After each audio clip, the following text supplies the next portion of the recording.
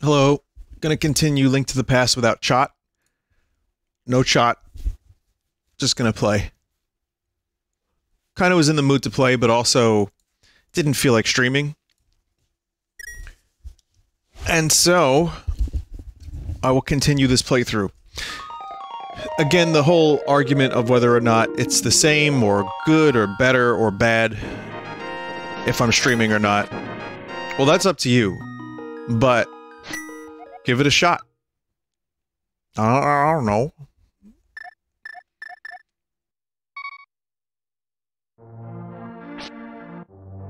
Maybe, maybe you'll find that you enjoy. But what I'm going to do now, and again, uh, this is The Legend of Zelda Link to the Past Redux, which doesn't change a whole lot. I can do this, so that's a little different.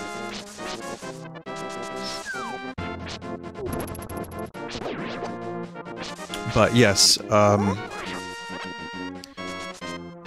playing this with this quality of life update, pretty good. I'd recommend it for a playthrough if anyone here is looking to check out uh, Link to the Past and, you know, just wants like something a little different. This is a good way to experience it. I mean, even if you play the original, you're not going to go wrong. It's still good. It aged pretty good. There's not a whole lot that I think doesn't work about the original Link to the Past. But going into the menu to select your items can be a little bit time consuming. So that's why I'd usually say, well, you know, something like this could work for some people better than others. This kid live under bri- This kid lives under a bridge. Yo, Link, you seem to be in a heap of trouble, but this is all I can give you. How does this kid know who Link is? That's it. There, there's nothing... There's nothing else. Though I appreciate that there's an NPC here that's its own unique sprite, as opposed to just a treasure chest. Because it could have just as easily been a treasure chest with bottle. So it's nice that they went through the trouble.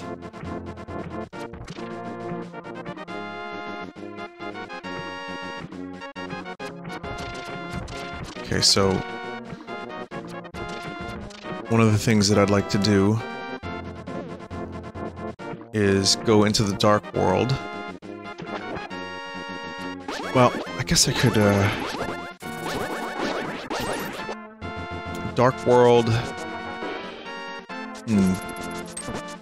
trying to think of where a close-by Dark World portal is, because I have to get to, to the village. Oh, hammer. Right, hammer right over here. Okay. So there's a couple different things I could do right now. Um, the bird.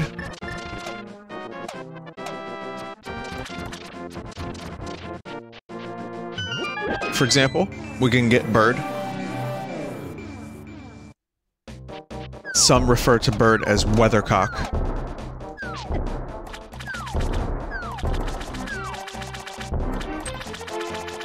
Those people are just correct.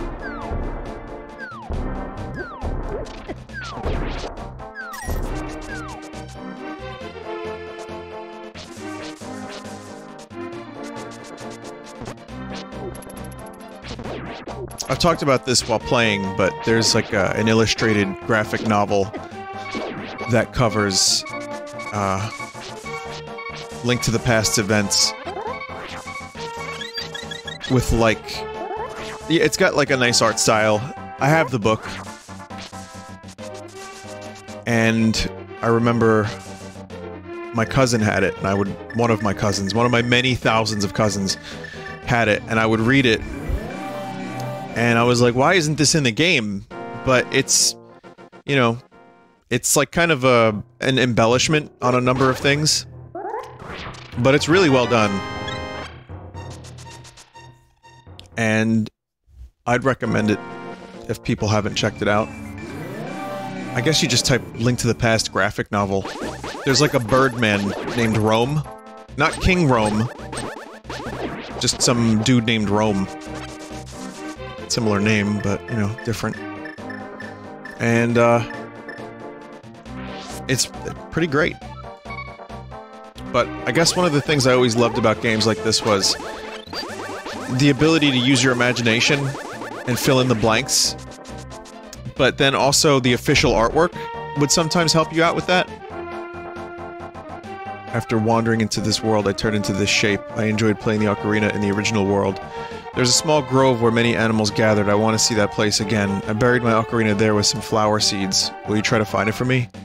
I will lend you my shovel. Good luck.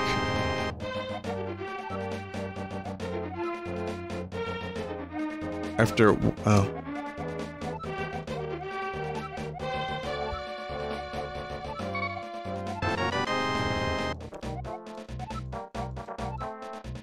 I didn't just get two shovels, did I?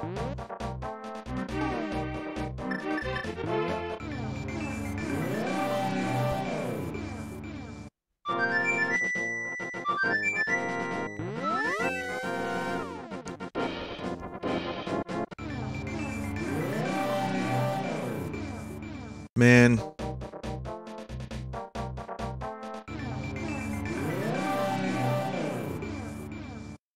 That noise for going into the dark world and light world is so fucking good.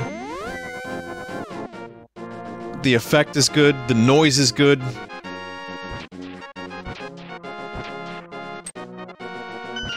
There we go. So yeah, this was originally called a flute. It's like Wait a minute. it's not a flute. I was like, why is this flute big? Why is it engorged? Thank you, Link, but it looks like I can't play my ocarina anymore. Please take it. If by chance you go to the village I lived in, please give it to a tired old man you will find there. Oh, my mind is getting hazy. Please let me hear the sound of the ocarina one last time.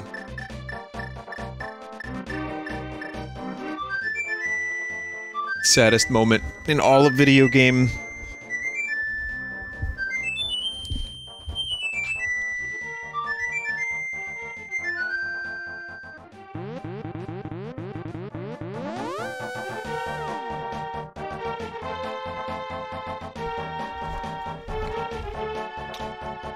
Was a tree now. What? What's this? Why am I facing? what is going on here? Okay, I guess the Redux version also added a new glitch or two.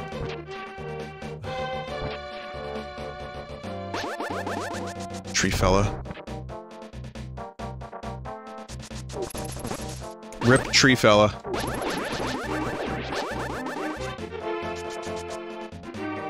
Okay, so normally now, you know, you'd want to do dungeon number two.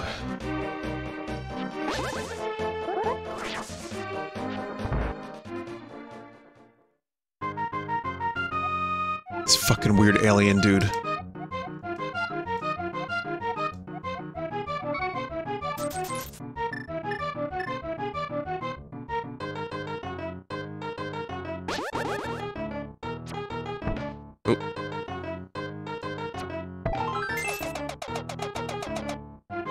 Honestly, that, that could be an emote. If we could fit that into an animated emote, I would try to get that. He just hits a drum. He just hits a drum. So weird. Oop. Oh god. Believe it or not, I've I've done that minigame very well on occasion. I don't think I have the patience for it right now, but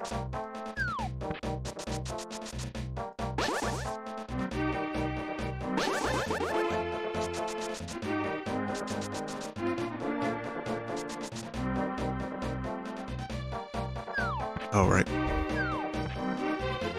All these weird Dark World denizens. That was an alien, this is a nose.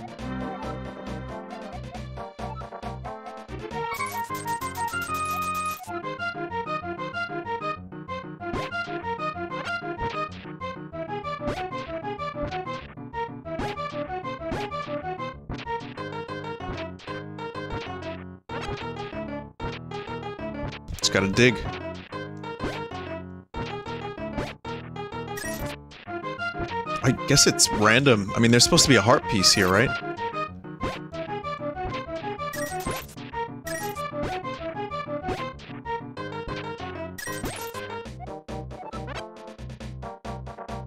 Pretty sure it's totally random, but, um...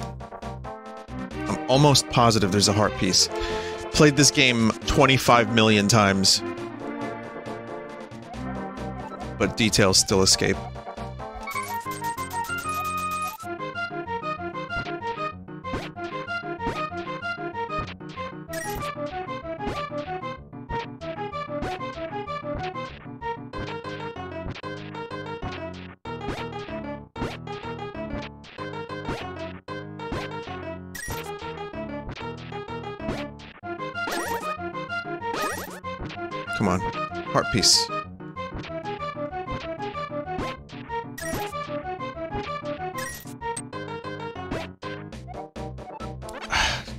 Me double check that there's a heart piece. I'm almost positive, but I could be wrong. Link to the past digging minigame heart piece.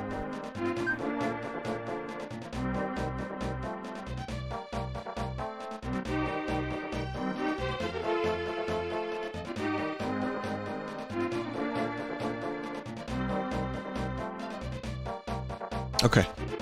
Yeah, there's one.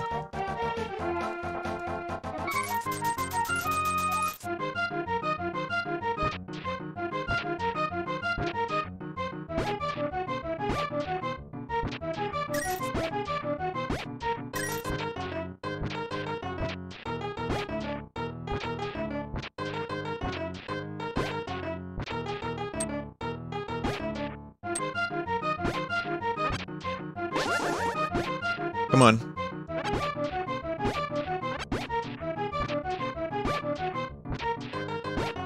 Yes! Got it. Oh, wow, that was a last second heart piece.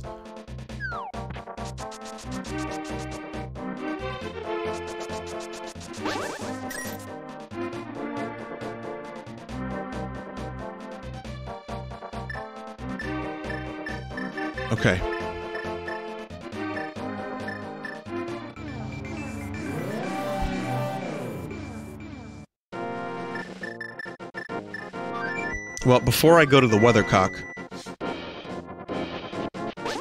Oh wait, no, I'm gonna go to the Weathercock, yes. So this kid's ocarina has some magical properties.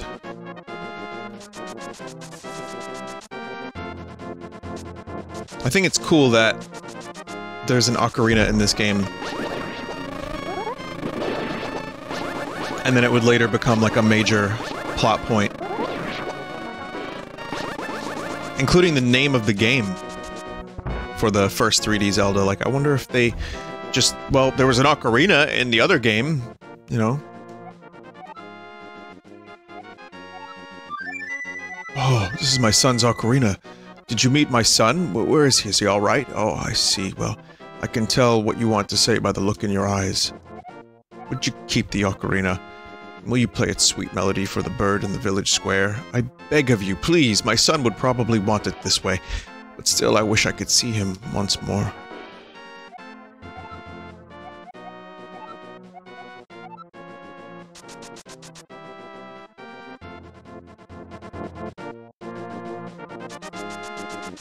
This game reminds me of Growl.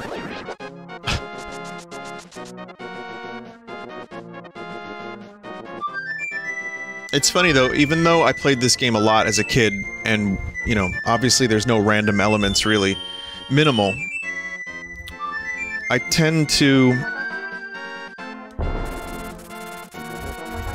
enjoy subsequent playthroughs. Even knowing, like, generally what to do, and I was way better at, like, going through this game quickly and knowing all the tasks and steps when I was younger.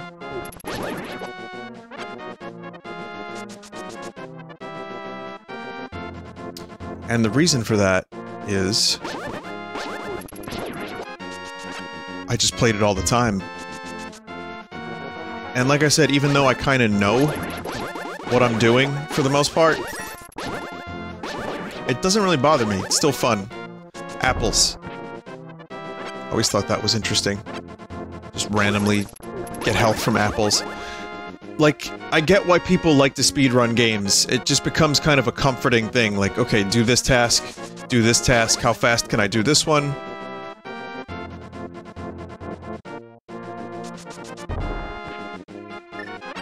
Anyway, this is the earliest you can get the third level sword. And when I discovered this as a kid, because I, I remember it was one of those things where I put two and two together, I'm like, wait a second. I might be able to get the, the level 3 sword right after I get the hammer. Not right after, as you'll see I have a little bit of work to do, but...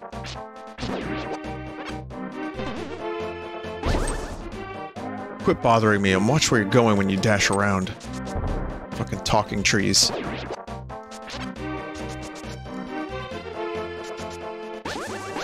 But this was like uh, my version of a sequence break. I'm sure other people have done so as well, but...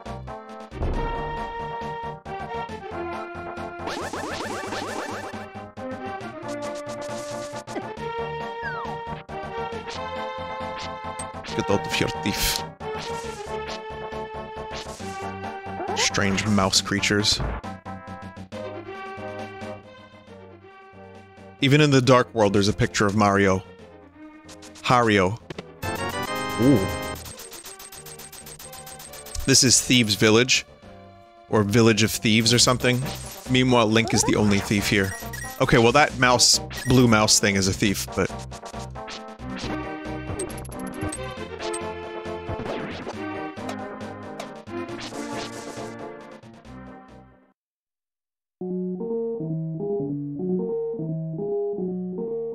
Small mouse? I, I don't even know what these creatures are supposed to be. One thing I never really understood is why do these guards have, like, lollipops instead of weapons?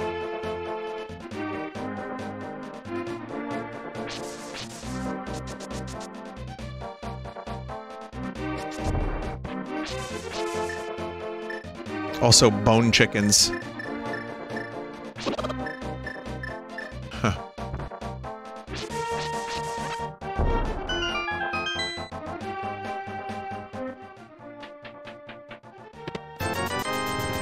And there's just 600 rupees just sitting around.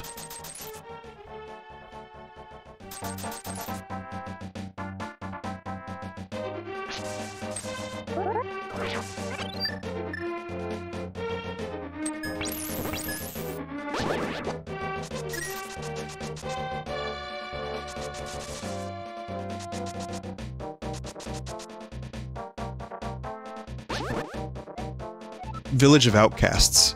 People without rupees are not welcome here. Village of Thieves. Where was I getting that from?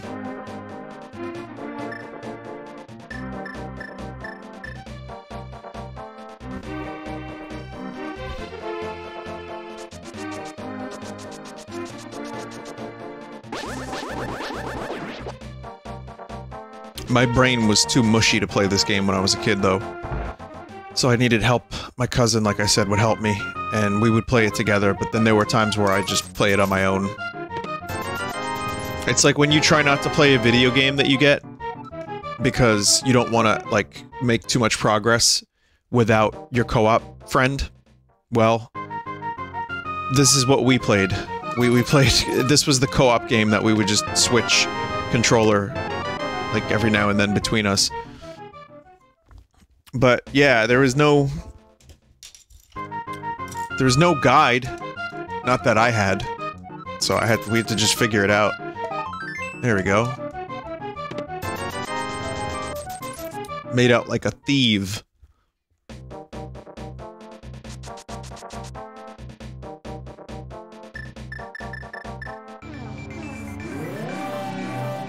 I forgot to play for the weathercock. Oh wait, no, I got the weathercock.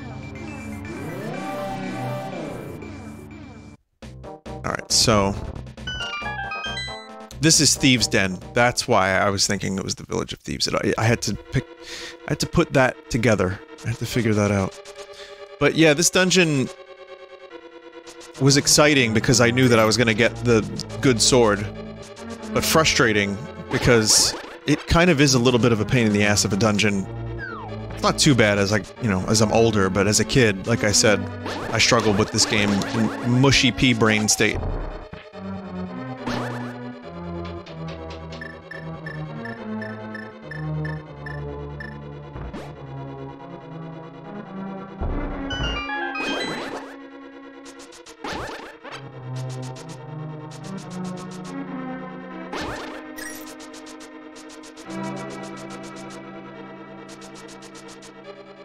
Music is very sinister.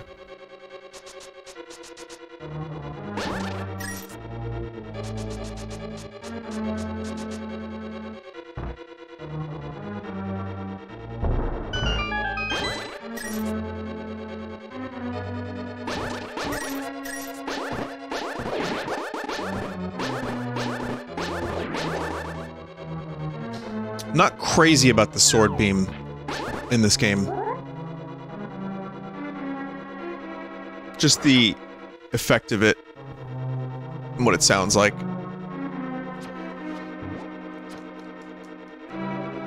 I've been bunniesed. Bunnied? Bunnied. Bunnerized. Um, the reason I'm not really a huge fan of it is Zelda 1, you shoot sword straight ahead. It has a kind of a cool sound. In this game, not so much.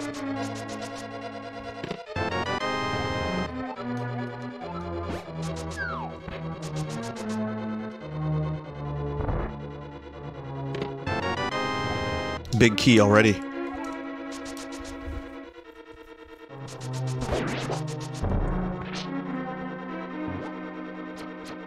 That sounds like a Wizrobe attack. The Master Sword. When you shoot.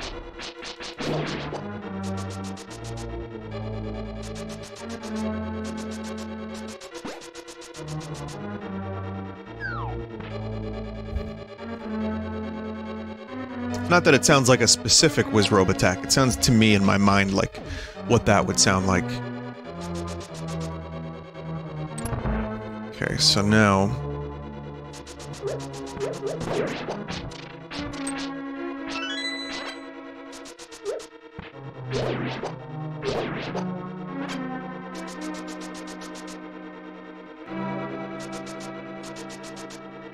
So my plan is to get the sword upgrade, then come back to the dungeon.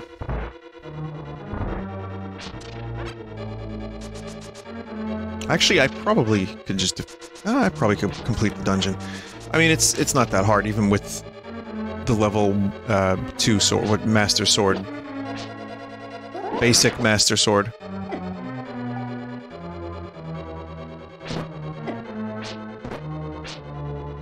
But it helps make Dungeon 2 and 3, Dungeons 2 and 3 a little bit easier, having a more powerful weapon. Some would say too easy, but that's the point of sequence breaking. And then you feel like a fucking genius, because you're like, there's no way they intended this. And then you find out years later, then, you know, that, uh, like Metroid, Super Metroid, it's like, yeah, no, that was all, not all of it, but a good chunk of that was baked in.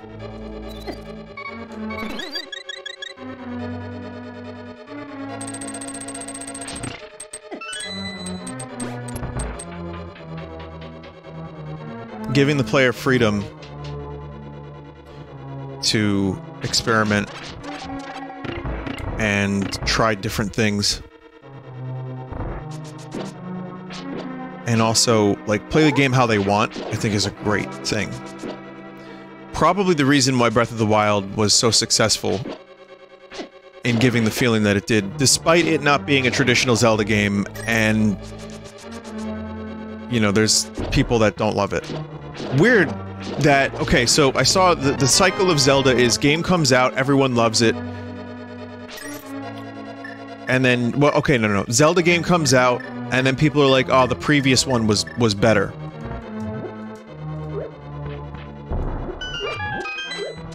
Okay so let me try this again. Uh, i read an interesting take on the cycle of zelda game releases. Right. Okay So game comes out, people bitch and moan about it and say that the previous Zelda game was better. Oh, Twilight Princess was better than this one. Wind Waker was better than that one. Majora was better than that one. With Breath of the Wild, the cycle reversed to the point where everyone loved it on release, and now people are trying real hard to justify why it was poop, even though it's not. That's the take that I read. Is there accuracy to this take? Uh, not really. I think it's a little hyperbolic, but it's kind of... I have seen more and more people shit on Breath of the Wild. At least I think I have. Maybe I just didn't see enough of it when it came out. And I think people who are like really die-hard Zelda fans have their issues with the game's dungeons. And that's kind of the issue with it, right? There are really very minimal kind of dungeons. There's only four of them, and they're minimal, and they're not that dungeony. But I also think that that's something that can be improved on. But the sense of exploration felt much closer to Zelda 1, which had you, you know, do things in whatever order. And replaying Zelda 1, as I have for the uh, that little Game & Watch thing, was in some ways kind of a revelation for me. Not that I didn't remember, but the feeling of like, wow, I can do Dungeon 4 out of order. I can do Dungeon 3 and then 2 and then I can do this and, you know, that that feeling is really cool. And I really feel like they captured that with Breath of the Wild. So I applaud developers allowing people to complete things. It can fuck with the balancing of a game. And that can be a problem. So, you know, you have like a, a hundred different things you gotta check and see if if it'll even work. But if it is pulled off, man, those games are so much fun.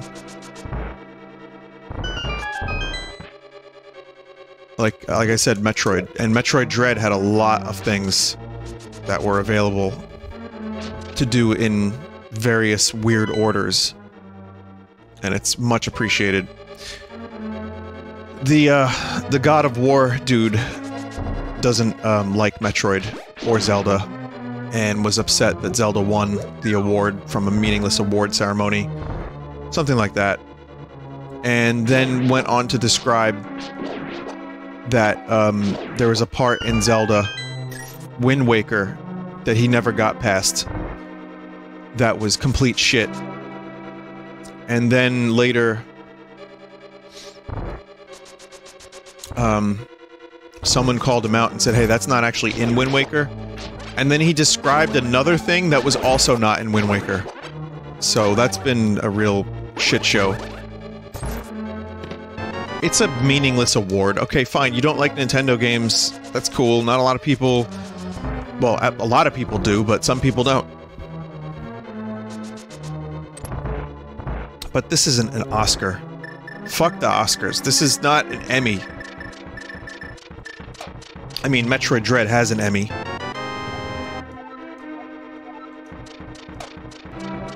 several. Anyway, there's the power gloves. Okay, so yeah, we're gonna- I'm gonna complete this dungeon now. So anyway, you have to rescue, very much like in Hyrule Castle, you have to rescue this maiden here. Which is a little weird, because we're in the Dark World. Why would... Well... The world may never know.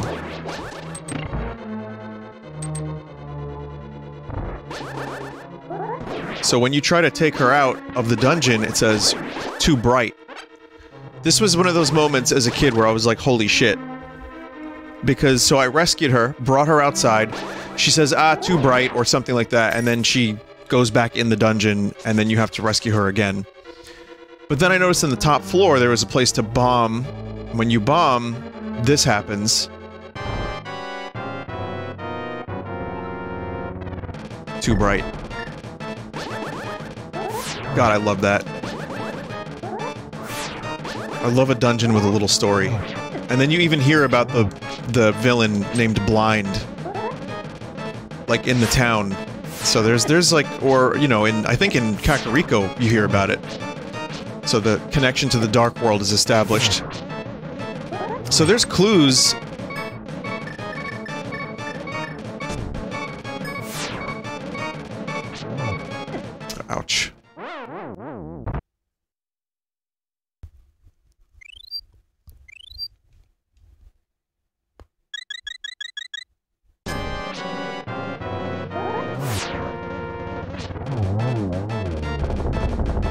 Little bullet spammy, but we got it.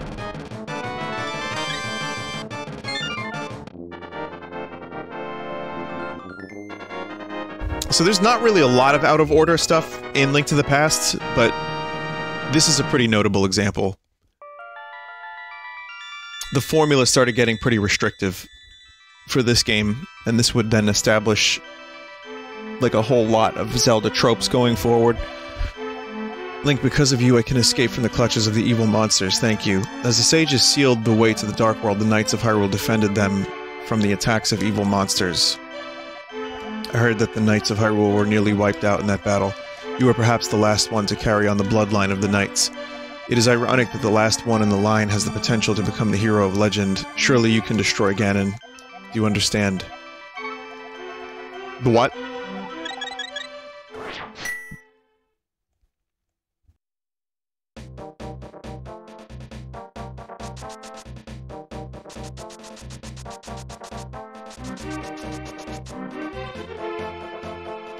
Okay, so then you want to rescue this frog. Ribbit, Ribbit, your body did not change. You are not just an ordinary guy, are you? I used to live in Kakariko Town. I wonder what my partner's doing there without me. Ribbit, I have a request of you. Please take me to my partner, please. Ribbit. Is it crying? I think it might be crying. I, I never noticed that before. I see like little blue lines. There's like blue dots. the poor frog.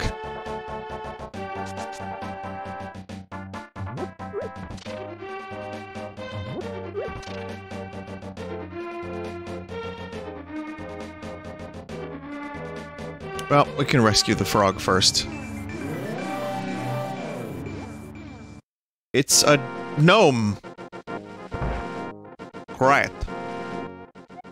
Happy days are here again. You found my partner. We're very happy now. Drop by here again. At that time, we'll temper your sword perfectly.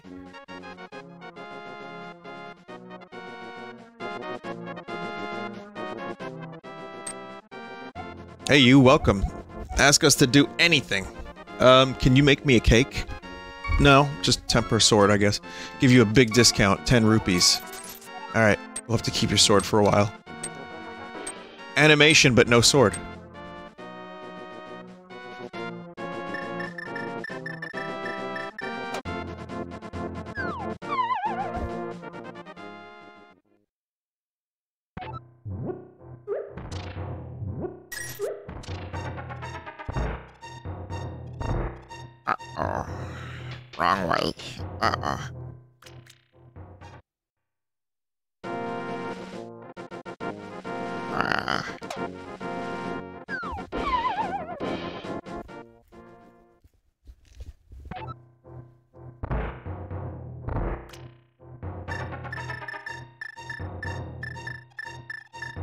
Again, just seeing this, and you're like, wait, what? Gotta put magic powder on it. So you still have a chance to solve things on your own in this game. Despite the more restrictive nature of the formula going from Zelda 1 to this. I'm excluding Zelda 2 because that was more of a departure. Blast you for waking me from my deep dark sleep. I mean, thanks a lot, sir. But now I will get my revenge on you. Get ready for it. Uh, if is that okay with you, sir?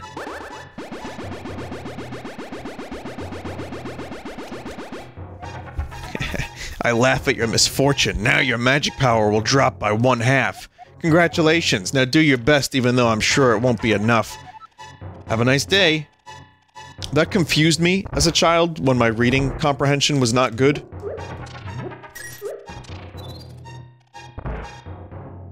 But yeah, magic powder. Uh, magic powder and magic power.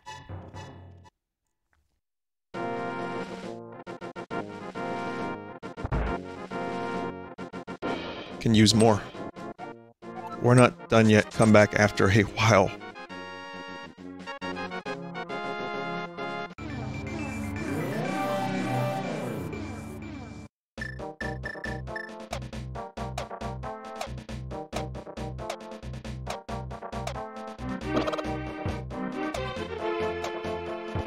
Listen, it's not my fault if a skeleton bone chicken decides to get in the way of my hammer.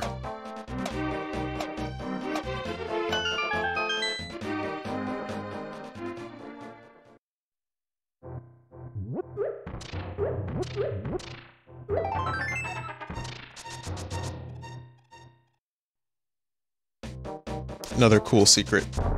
Again, I can't really overestimate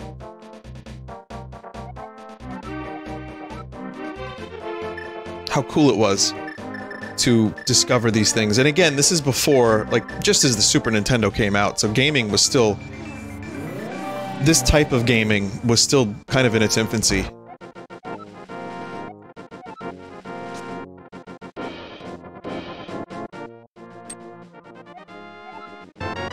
There it is.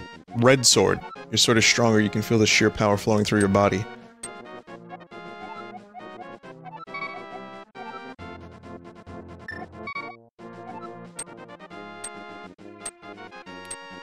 It's weird that the option to temper it comes up again, but they can't temper it any more than that, so...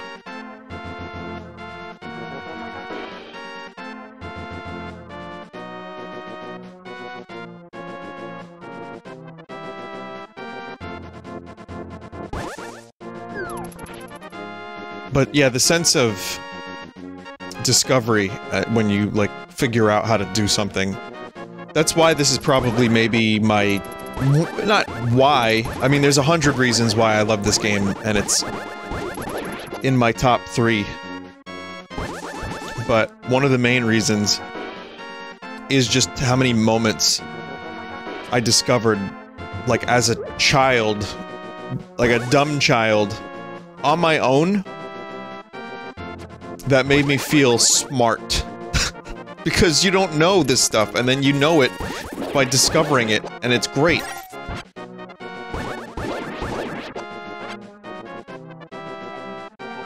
I heard, um, I heard that you know I used to be a thief, right? I'll open a chest for you. Will you keep it a secret from everyone else? Will you please promise? Fourth bottle. Remember, you promised.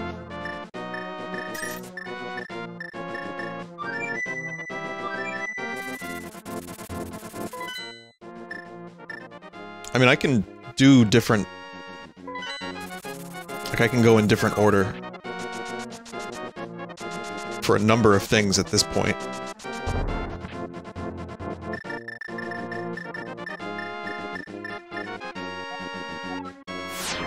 But the hook shot is pretty, pretty fucking necessary. Getting the final sword upgrade, I think, requires that you have... I'm not sure 100%. Either you have to get six crystals, or you just have to beat dungeon number six. I kind of... I kind of forgot.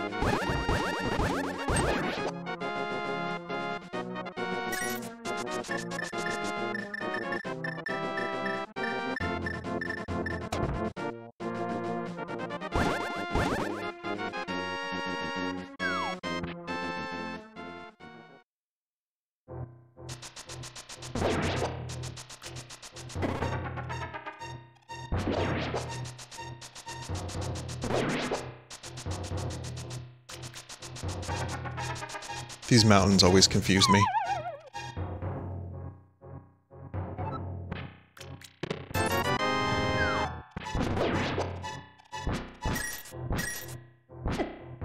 I like that they went out of their way to make a new sound effect for the third sword.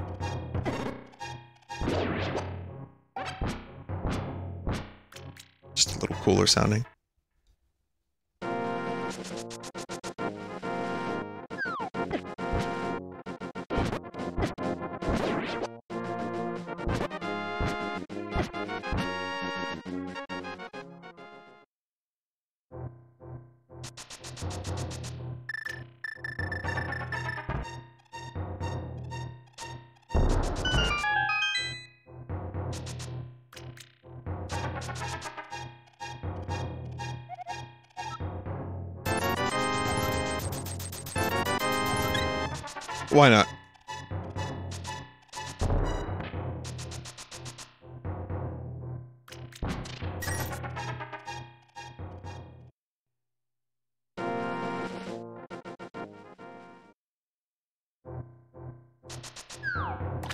Yeah, hook shot required. I was hoping to get one more heart piece. I know there's ways to do that now.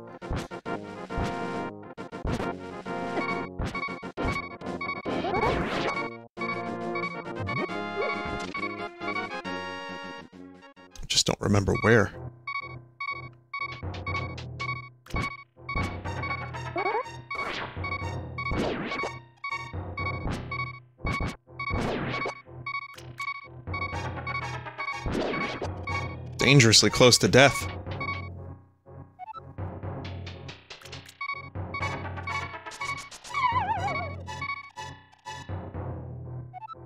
Oh, thank God.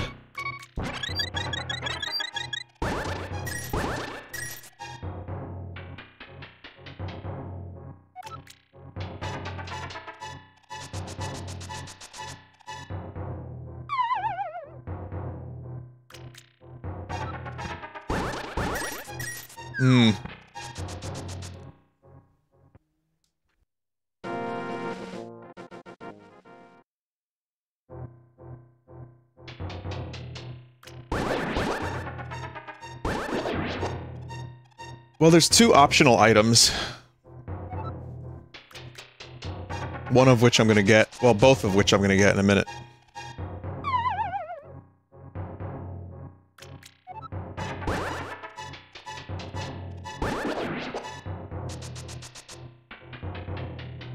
Just keep forgetting exactly where I have to fall.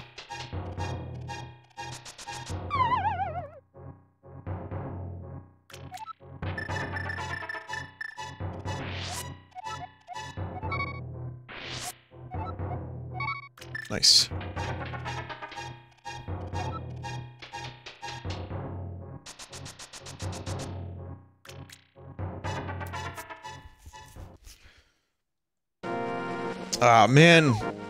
Oh well.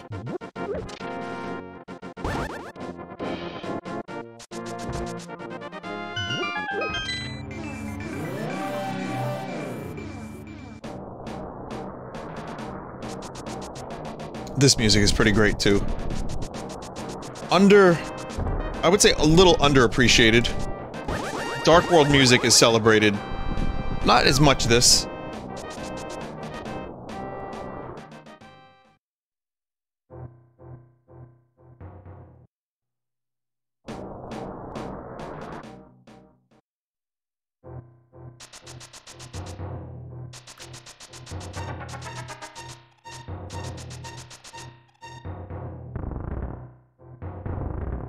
Wow. Wow. Moving one of those blocks kind of sounds like Owen Wilson doing wow, slowed down by 20... No, 75%. Wow. Wow.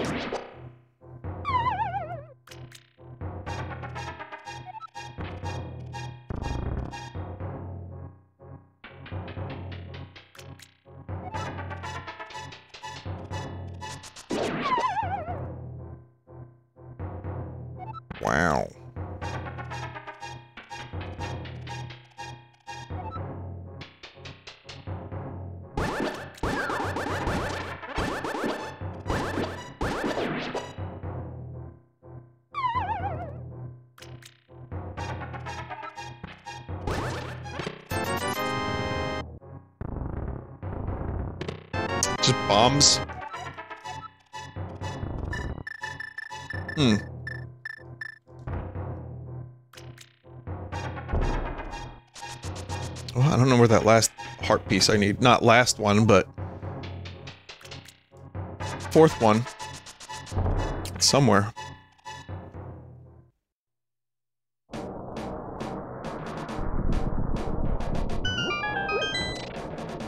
Could this be it? Or I think this is a fairy fountain?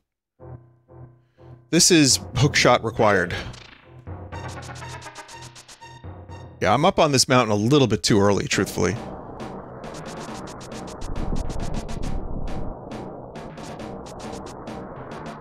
Time to do Turtle Rock.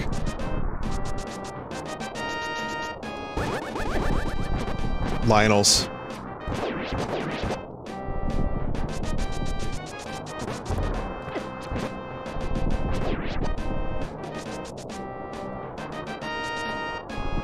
Pig Tower. Pike.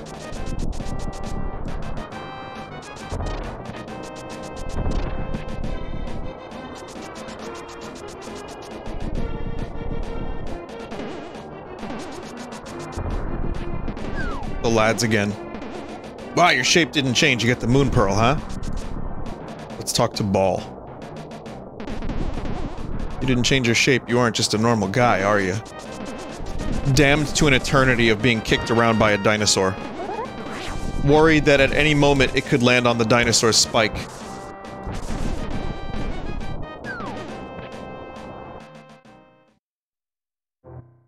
Yeah, that's where... Eh, you know what?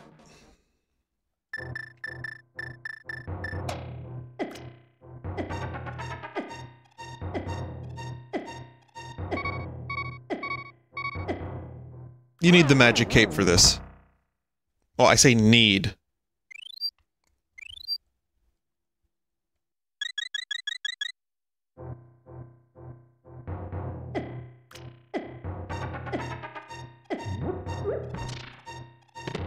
You need full health in one fairy. Pretty much.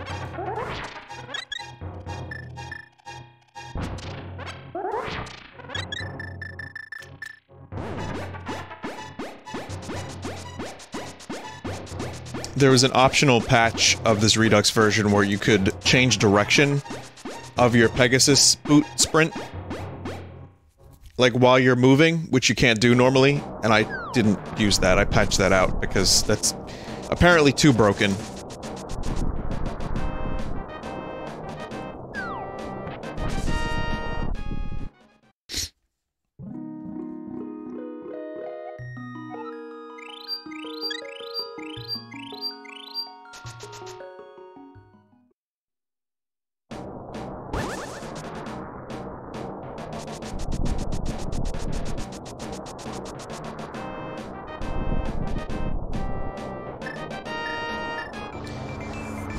I'll get another heart piece soon.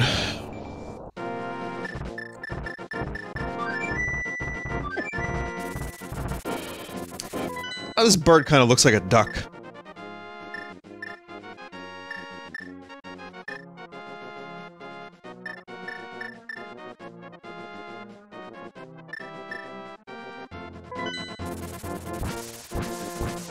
It looks like a little Pekin duck.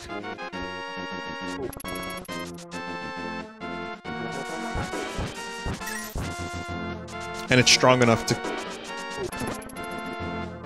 It's strong enough to carry Link.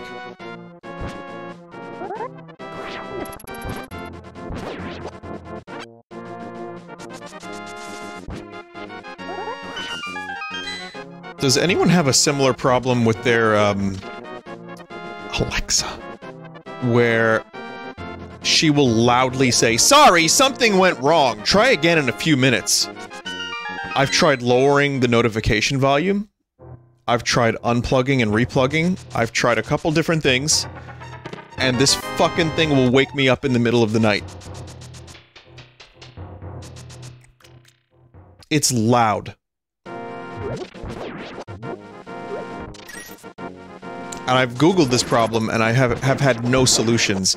If anyone has any idea what the hell's happening or how I can stop this, please, please send me a message and I'm not gonna bother with the Chris Houlihan room.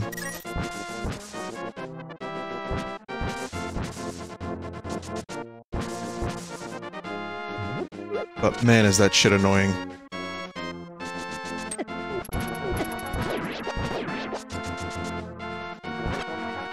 It just happened now, that's why I, I, I am bringing it up.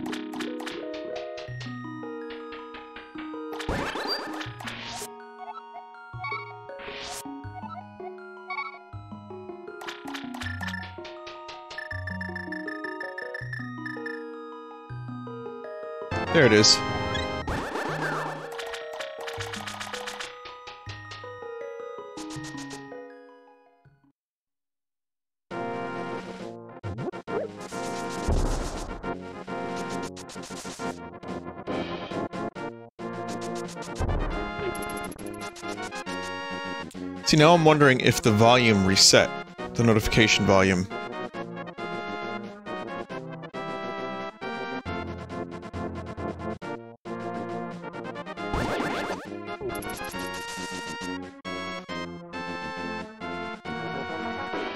Recently launched Big Fart. Popular skill, ask Pikachu anything you want.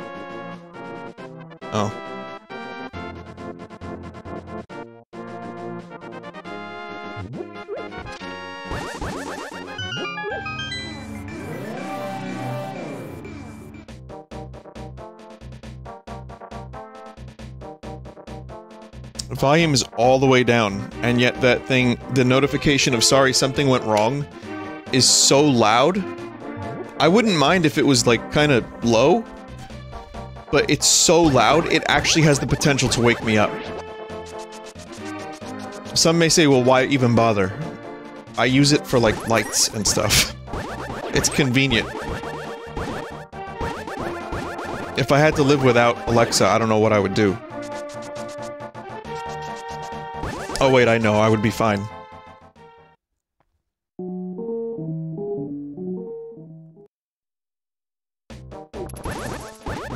Ever notice that that dude's the same in the light world and the dark? Kinda just put that together just now.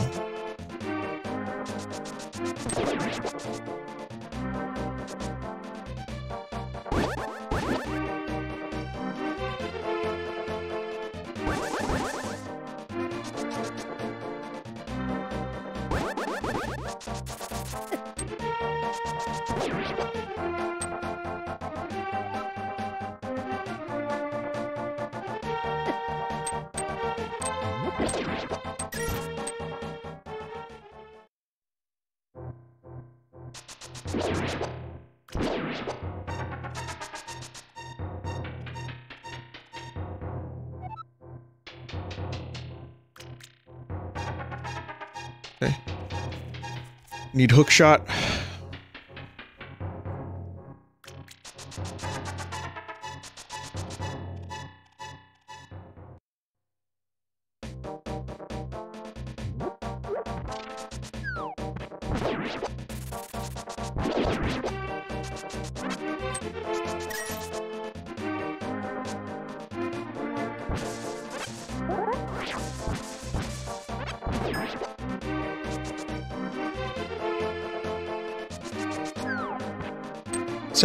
Something went wrong.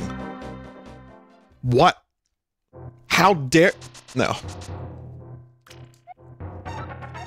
Profitable story if you pay me 20 rupees. An incredible beauty inside the pyramid. But someone sealed the door, you can't do anything with a standard bomb, they say.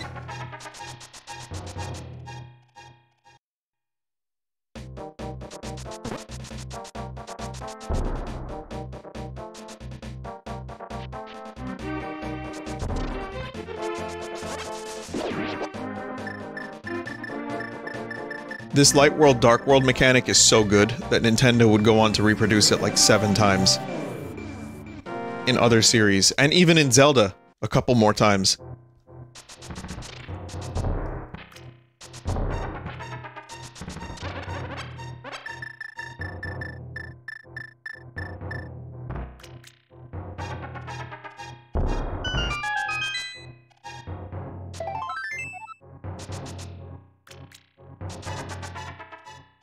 Why didn't Nintendo copyright Dark World?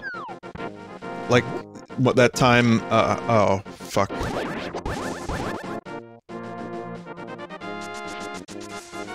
like that time um, loading screen mini games were copyrighted, or stranding games, or whatever the fuck.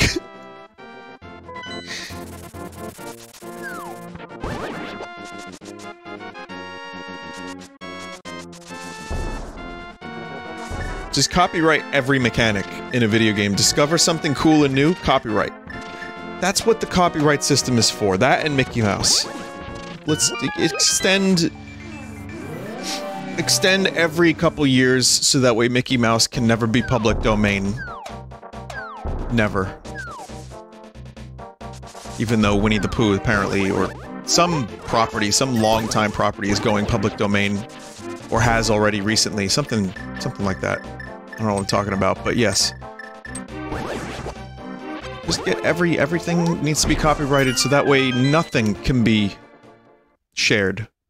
There can be no such memes. Take some rupees. I don't don't tell anyone I gave them to you. Can't really use them. I mean, thanks.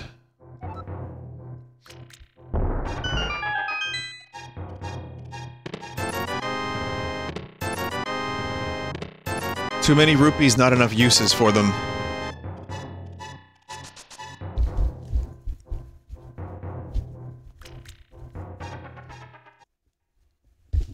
Anytime the word Dark World is mentioned or used in a video game, Nintendo is owed $10,000. That would be a cool future.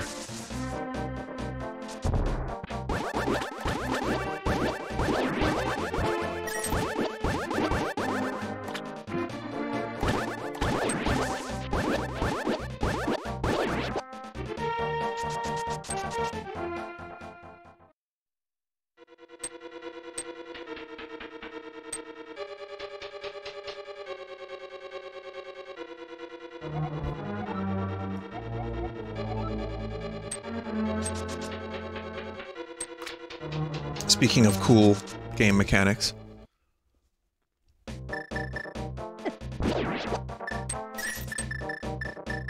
And just the connection between the light world and the dark world. It's very good. Though I would say the time travel of Ocarina of Time from, you know, seven years prior to seven years later, I'd say it was utilized pretty well.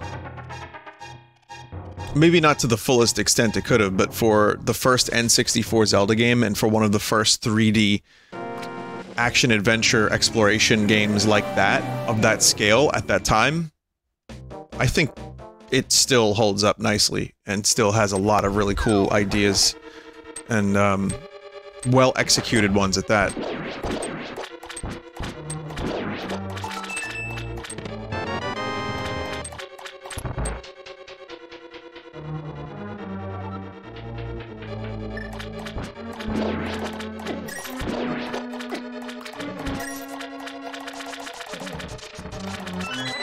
Remember, Zelda 64 could have been the game we got.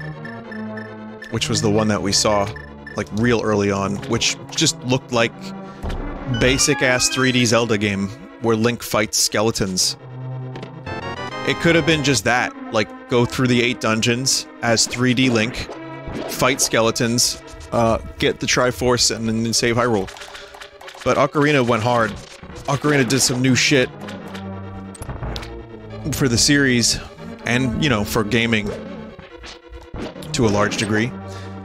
And they were like, no, let's try a time travel mechanic, but also incorporate it into the, like, story of Link and have it mirror the player. And it, you know, it was great.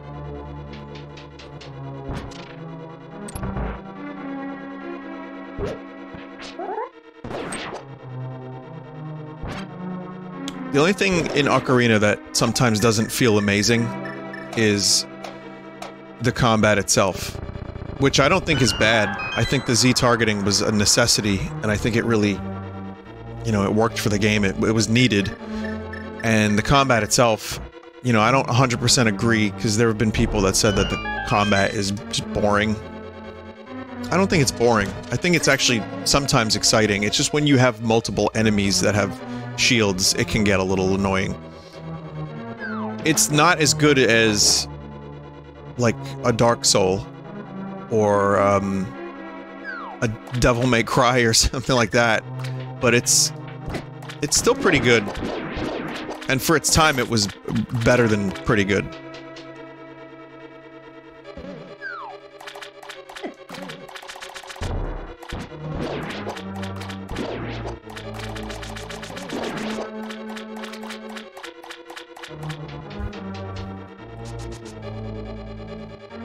Yeah, even playing Ocarina like these days, you can see like, yeah, sometimes the combat isn't the strongest part of the game.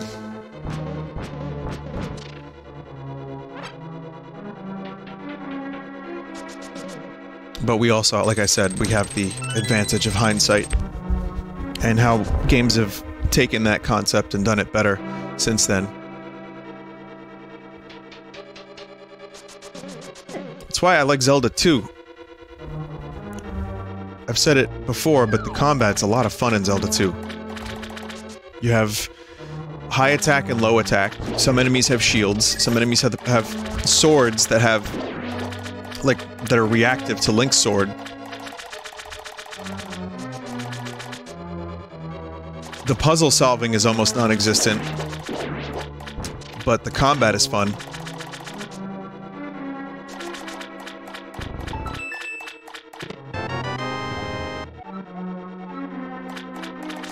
This game, I think, was also uh, the right move for the Zelda series in regards to, like, swordplay, which... Nothing, like, crazy. It's just sword, but it feels good. The physics of it are good. What I like about it most is, compared to Zelda 1, you have a, a range of attack. I mean, even compared to Link's Awakening, Link's Awakening had it on a 90 degree angle but you get a full, like, kind of sword swipe in this one. That Crusader of Centy game for Genesis, it's like a Zelda-like. I've been meaning to play that game, and one day I very well may. It was the Genesis's answer to, like, this game. The only problem I have with it is the sword swipes. Well, I mean, I haven't played much of it, but I'm sure there's other problems, and I'm sure there's other really, you know, cool things, appealing things. People really like that game. However, the sword is kind of sluggish. I don't know how that would feel for the whole game. I like that this game it's like kind of fast. And I remember playing that, I was like, oh, this feels a little slow. But you get so used to this game that other games that are similar might feel a little weird. But still, I want to try it and see if that's even an issue. It might be a non-issue.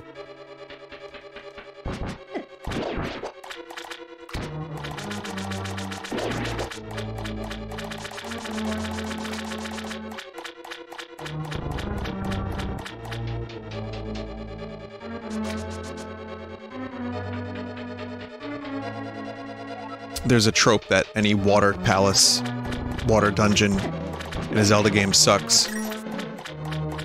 I think the Ancient Cistern in Skyward Sword is absolutely great.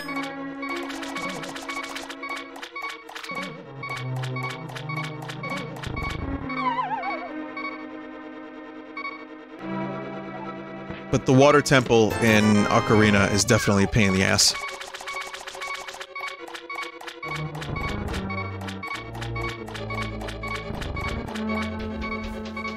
It's not too bad. It's just a lot of menu time for the boots and a lot of confusion, but I, don't think it's as bad. I think it's actually a very well-designed dungeon, just not my favorite by a long shot. Um, I think Majora's Mask water... Majora's Mask's water dungeon is even worse than the one in Ocarina.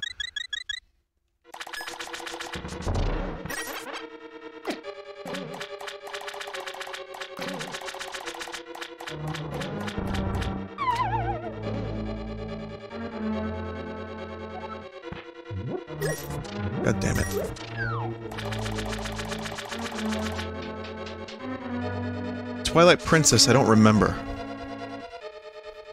Wind Waker doesn't really have a specifically water-themed one, if I'm not mistaken, because, I mean, the whole game is water.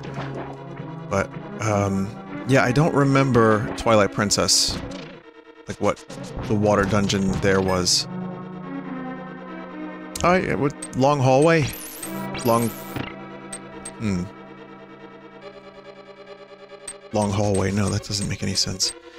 No, I think that was the one with the big room where you can change the staircase. Uh, I don't think that one was all that bad. Vague memories. Even though I played the HD version a couple years ago, it's kind of not there. Memory's just not there at the moment. The other 2D Zelda games, I can't really quite remember. I mean... The one on, uh, let me think. Link's Awakening.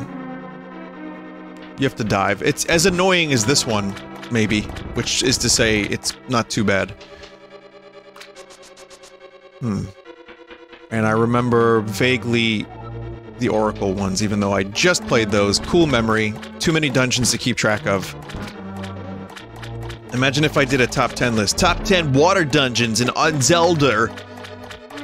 Number one, and I'm I just uh, that one where you um, go underwater with the flippers in the Oracle games. That one, I think, was okay. Number two.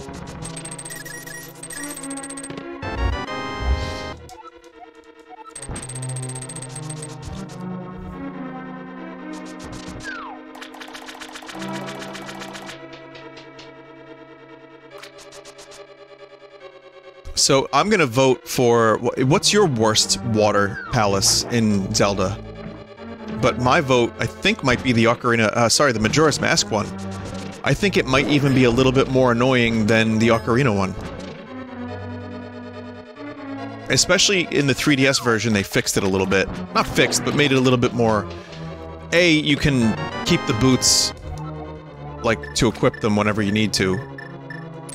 So that's helpful and B, they added some like guides, some like um, to to show you where the water levels go and what rooms take you there. So it's just a little easier, a little easier to parse the information required without playing the guessing game and getting lost and having to remember the exact hallway, which is great for me.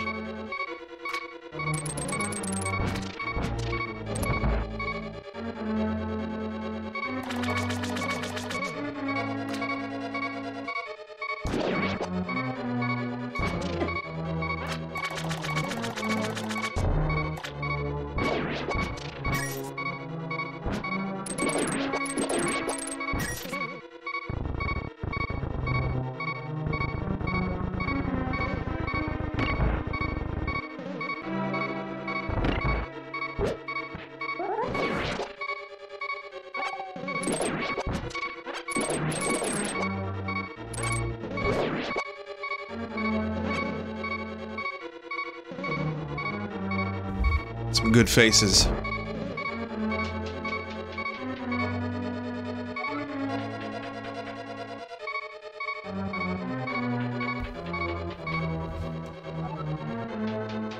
This may not be my favorite dungeon, but it's not too bad. It, is a little, little bit of a pain in the ass. Minimal pain in the ass, like... It's the type of ass pain that you just sat on your ass a little too long. Not like on the toilet, but, you know, in like a decent, but not amazing chair. That's the kind of pain in the ass this game is for me. Or this level, this world, this... thing, this dungeon.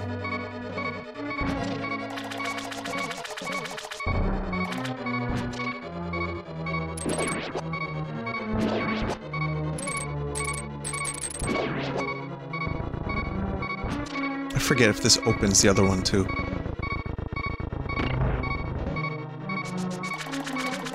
Yeah.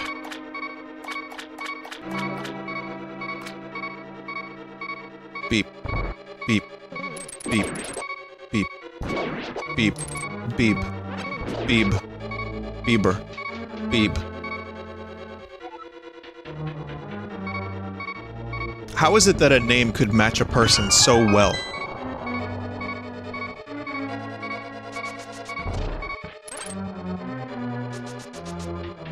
This guy's a beeb.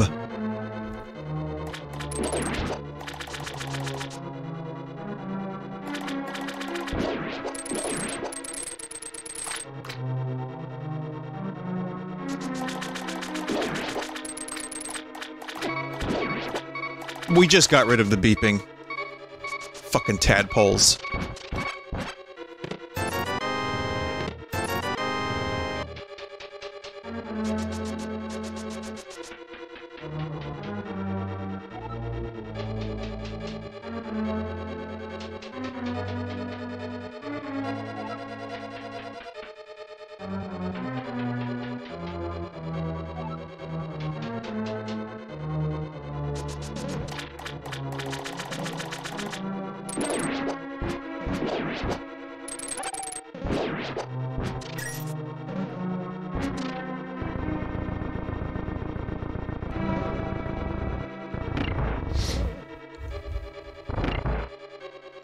Still kind of semi-struggling with this dungeon all these years later.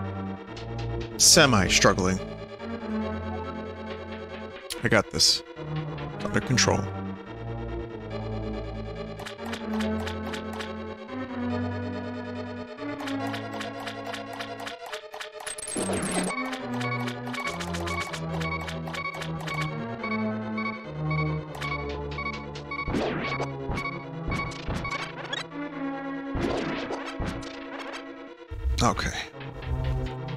Think we're good.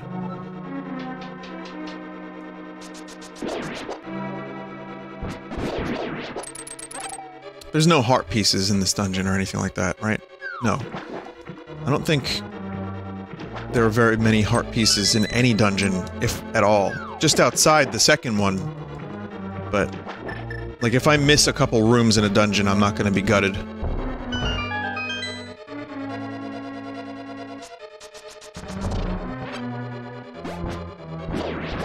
I think Nintendo should retroactively add amiibo support to every video game they've produced. Okay, that's a horrible idea, but what if they did? What would be the amiibo functionality for this game? Use Link amiibo, get double powerful sword for 20 minutes? Crenando amiibo makes game harder. Enemies hit twice as hard. Zelda amiibo plays the lullaby, and then you get a fairy. Tingle amiibo takes 20 of your rupees. Use it again, takes 50. Use it again, takes 200. Use it another time, will take all of your rupees and then give you a little Tingle statue for your home.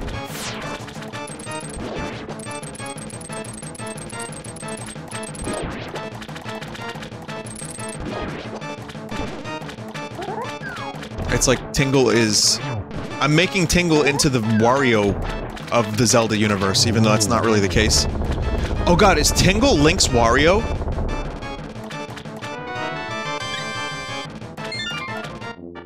I don't know how to feel about that.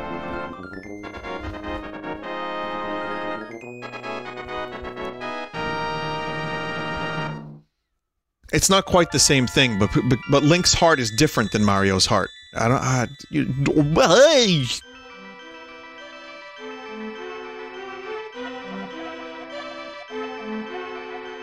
Link, because of you, I can escape the clutches of the evil monsters. Triforce will grant the wishes of whoever uh, touches it. Uh, as long as that person lives, uh, that's why it was hidden in the sacred realm. Only a select few know uh, of its location.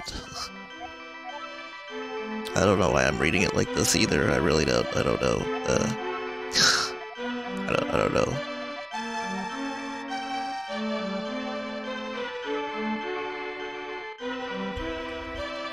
how to return to the light world. Remember that you have magical powers which can only which only the hero can make the most of. Other magical warping points like the one you saw in Death Mountain, by using them you can go between two worlds and find the evils hidden in the dark world. You are the only one who can destroy Ganondorf, the thief. No, Ganon, the evil king of darkness.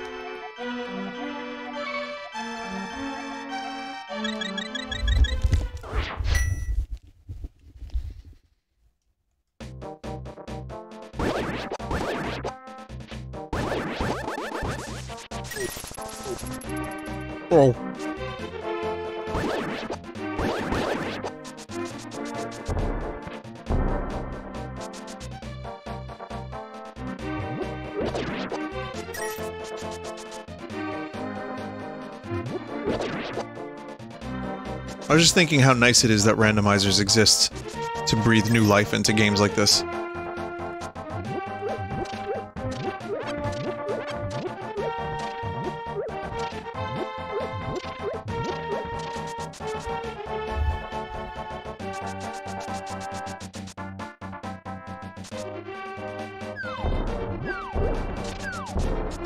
But not just randomizers, but randomizers with lots of extra settings. One of these trees is friendly.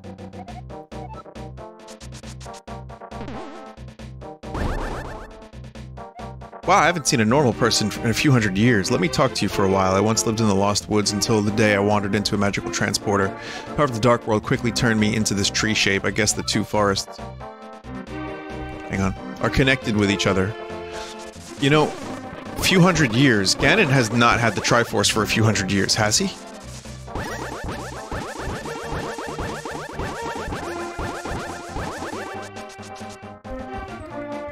Kind of makes me wonder if time moves differently in the Dark World. Like, maybe Ganon got it a month ago, but for them, the Dark World has been here for hundreds of, hundreds of years. I don't, uh, I don't know. I could be laurally confused.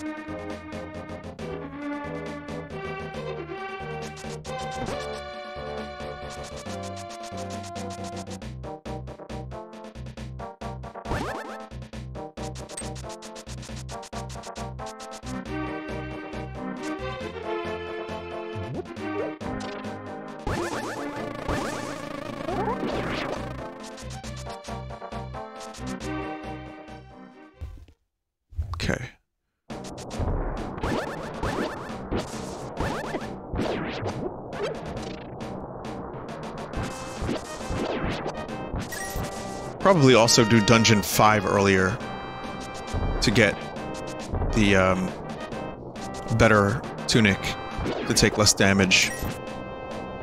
wonder how early you can do that. I, I guess you need the ice rod for that, or the fire rod, so yeah, it's probably not worth going too far out of your way for that one. Yeah, this is Dungeon 3. I mean, I know there are people who are watching this that have never played Zelda or Link to the Past before, but... This dungeon's weird because it has a number of entrances. The Lost Woods in the Dark World are basically all one interconnected portion of this dungeon.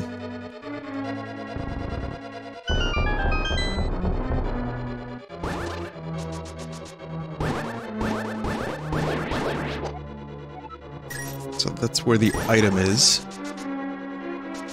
Gonna need the, uh, big key, of course.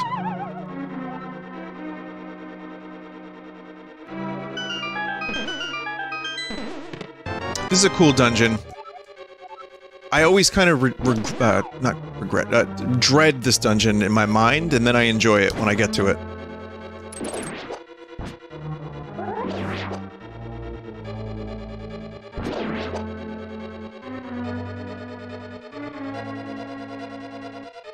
Just a little confusing.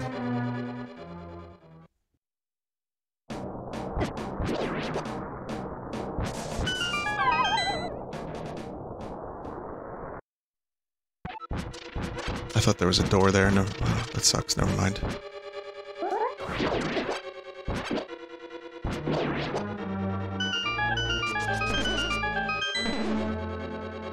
Okay, so I need two keys.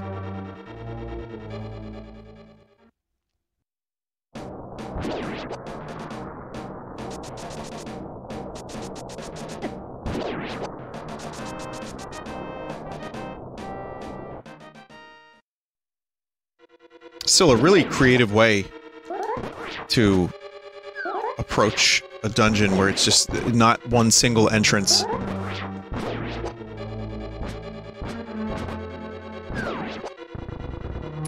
Like, playing this game in, like, as close to vanilla as possible all these years later is making me appreciate its game design and how varied it is.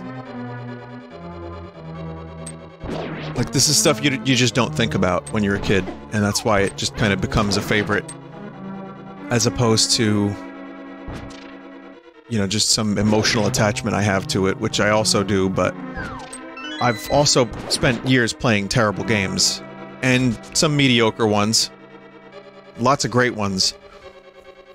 But with all that informations that I have in my head now, I'm able to do a little bit more thinking about what makes a game great.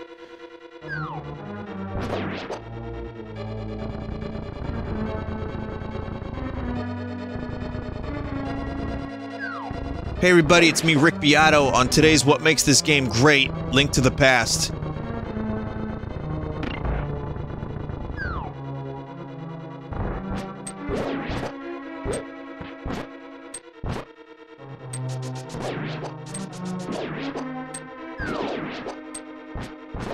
I'm glad Beato was keeping the, uh, the love of 90s music alive. He just did a video about, was the 90s as good as I thought it was? And he's like, yeah. And he just plays music and, and like, talks. And someone was like, the 90s are trash compared to the 80s. He's like, nah, you're wrong. I mean, it wasn't quite as clear-cut as that, because he loves the 80s music as well. But the fact that he got to interview Sting, and he's a big, like, 80s, he has, there's a ton of 80s bands that that dude likes. But, yeah, I think you, you could tell that he's just passionate about music, and I'm glad that there's a YouTuber, even though he's, like, just a dad. Just some, someone's dad. I like that he's knowledgeable. He has a lot of good topics. He listens to a lot of today's music and will critique it a bit, but also be fair and talk about what he likes. And yet, I think it's it's good to have people that are getting others into like why music can be great and why it doesn't have to just be you know a fun radio song, which is cool you know, fun radio songs are, are nice, and it takes skill to write a fun radio song. But there's also other reasons music exists and why it's uh, so much of that music that I grew up with that I still revere is, is so important to me.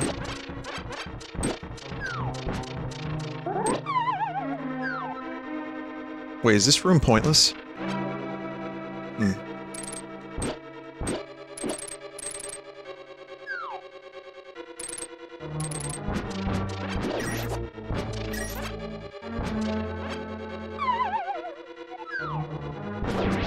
I I think I just wasted a key in that room. Huh.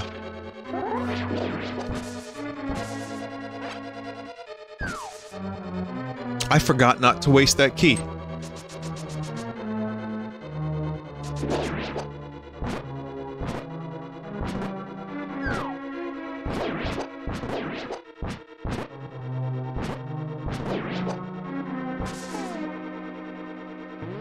I do have the big key, I just realized.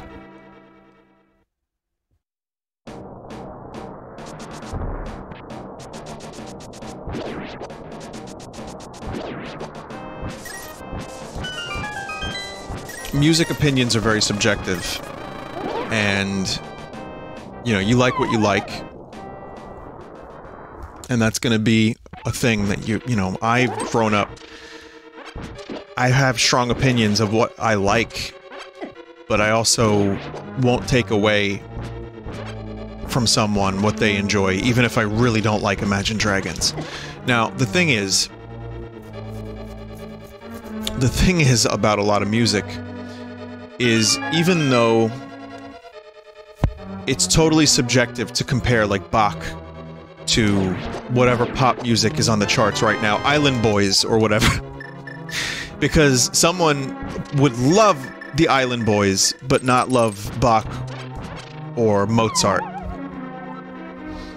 And you can't take that away from them. You can't force them to recognize something from like Led Zeppelin and say, hey, this is much more meaningful to me than Island Boys is to you. That's not how that's not how that works. The answer is no.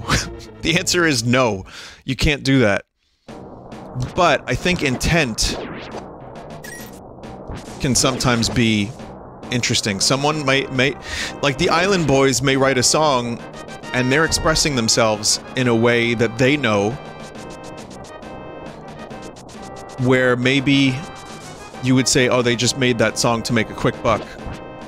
And I, while I'm more inclined to believe that for a lot of pop music, because that's the hustle of it, and also a lot of the music is very samey, and a lot of it sounds lyrically and musically like, uh, you know, there's also people that have writers that write for them to make the most effective song possible to be catchy and to make the charts. So that you can probably quantify. What you can't quantify is how much that song may mean to someone. And that's why being a music snob about like what other people's tastes are does not really work all that great.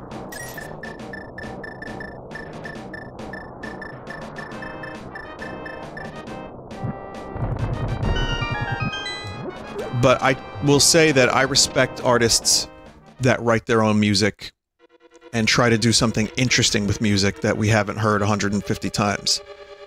I like when you're listening to a a song like a, you know and there's like a weird like it skips a it misses a beat and then comes back or like when there's an interesting chord structure or like an interesting rhythm something weird with the melody that I haven't heard before or even if I've heard it maybe all of that together with some catchiness and you have a song that maybe you can listen to and really enjoy and you don't have to like you know study it. Like you're a, a fucking architect studying building like plans.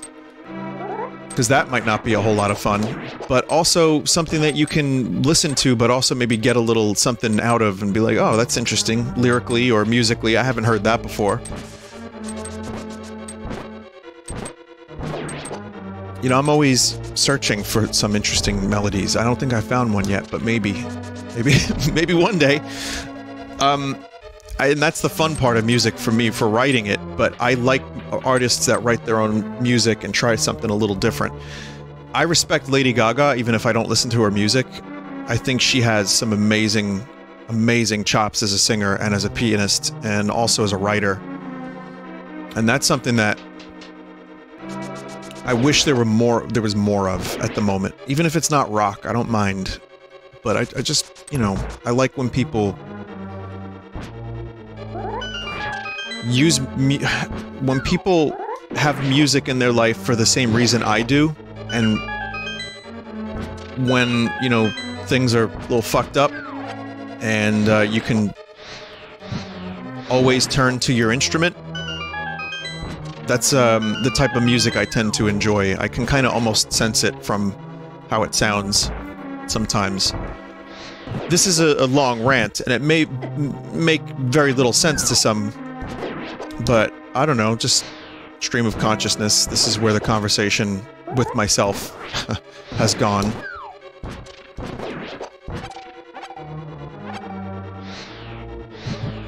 And Anyway, I, I appreciate that Rick Beato is a popular YouTuber that gets a lot of views, that also turns people on to how music is made, how it's written, different types of instruments, different great bands, even some music like that I've never heard of before. He's kind of exposed me to a couple things, so it's nice that that exists where radio does not really exist, and if it does, it kind of just plays the most homogenized versions of whatever has a proven track record of being popular and therefore will attract many streams, downloads.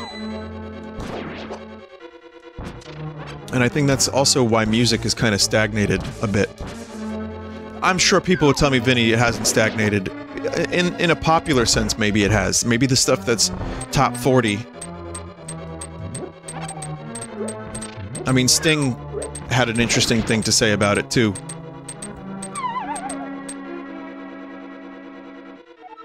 how minimal music is at the moment in, in a pop sense. And it is. It's very can be very minimal. Can be very let's stick with these three chords, repeat.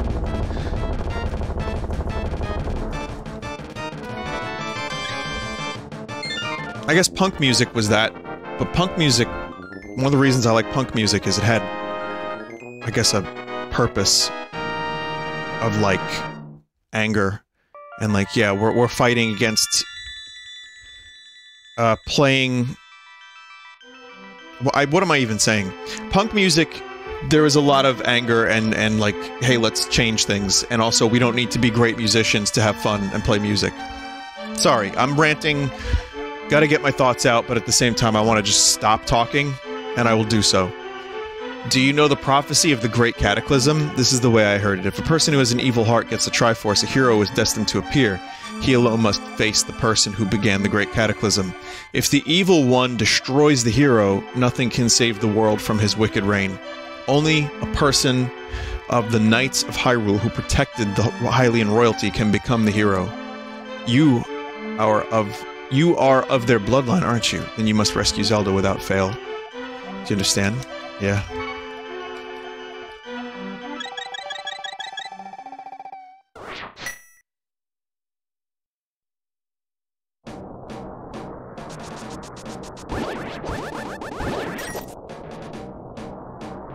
Okay.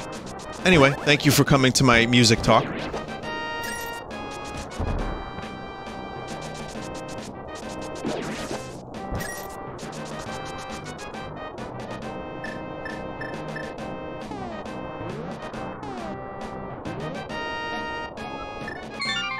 Also, there's a lot of great music out there that's just not popular. That's it's just hidden. You know, stuff that you you're only going to find on Bandcamp. And I'm guilty of not seeking that music out. One of the reasons I don't is because there's so fucking much of it. It almost becomes overwhelming to think about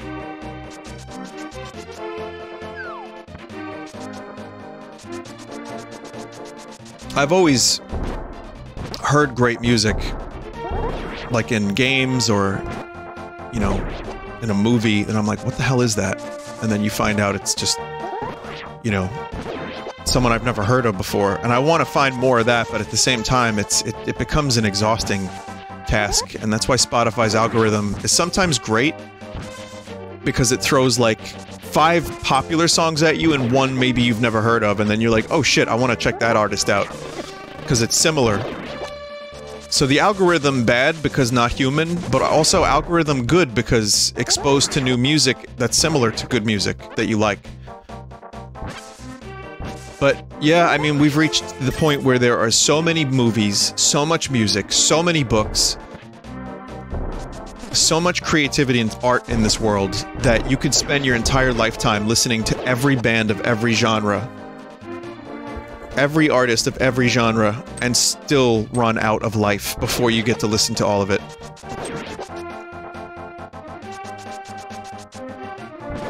That's why I'm grateful people like my music, or at least seek it out. Like, and give it a chance. Because you know, you could be listening to anything, and then you find this this the, who does the spin in Mario voice, the streamer, this YouTuber, whatever you want to call me at this point. You're like, oh, I'll eh, I'll check it out. Why not? But you know, there's artists that are way better than me that do not have the the audience at all, and have spent years and years perfecting their craft, who don't get that level of attention and won't Oh wait, I was here already, right? Yeah.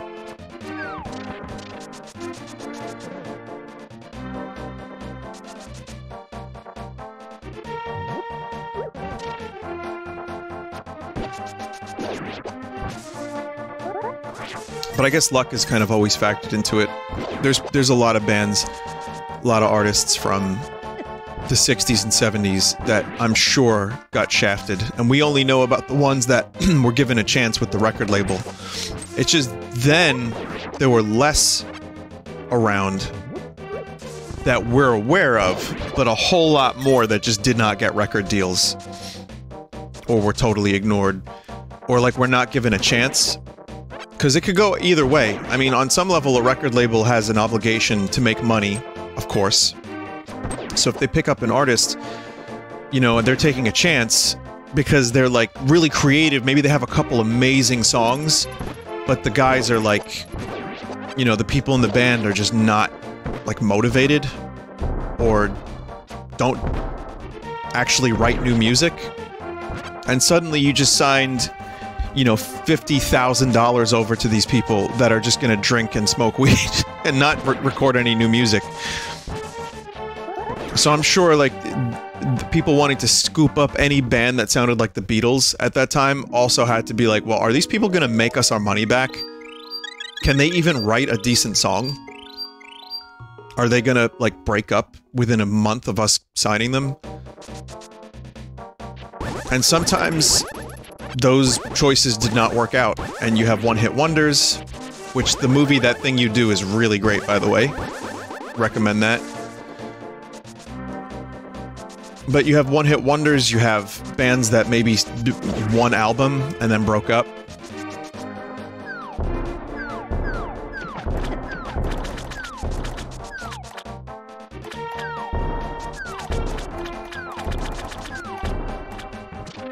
Anyway.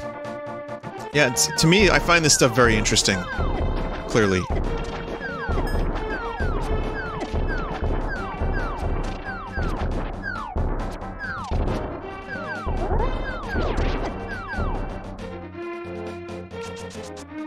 As much as things have changed in the world of, like, music, and people are like, oh, it sucks to be an artist now, I'm actually kind of grateful that I don't have to leave my house most, uh, or do a tour to be discovered.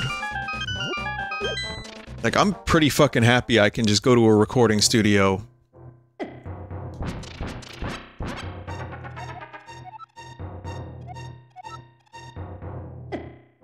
Hmm, forgot about this room.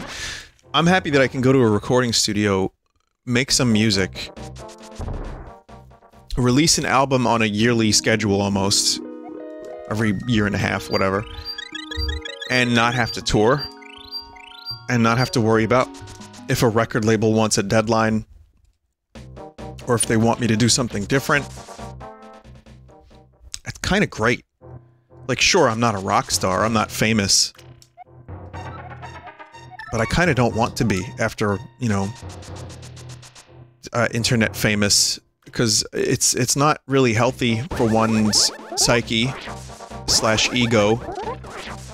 It can be healthy for one's wallet, but uh, it doesn't really doesn't always uh, work with personalities that have some issues going in. So on some level, maybe that's not a, a thing for everyone. And maybe I don't necessarily need that. Maybe I'm just happy that a that I have the audience I have. And I guess you know, I guess that's okay. It's kind of nice to have. So there's a lot of good stuff about being current year with um, streaming platforms and shit.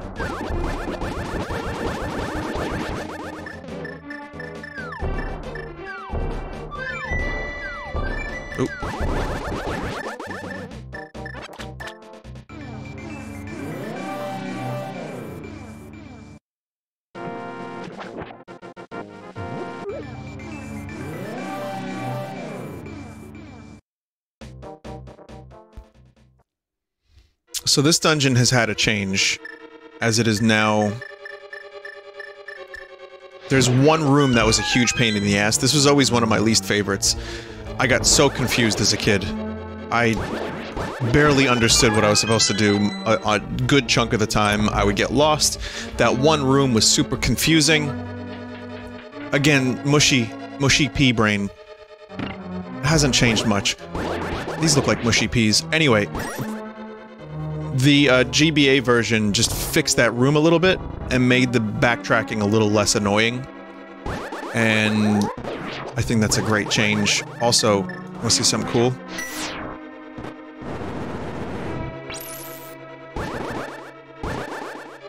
That was pretty cool.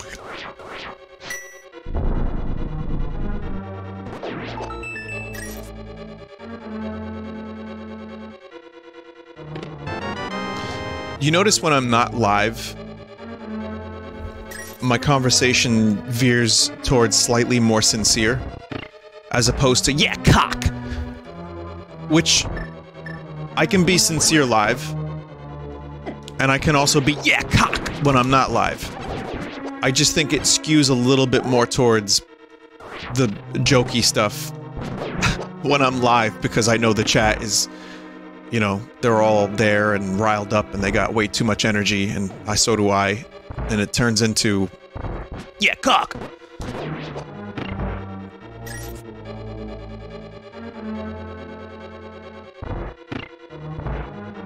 But I think both I like being both. I like being wacky and I like also talking about other random shit that's on my mind.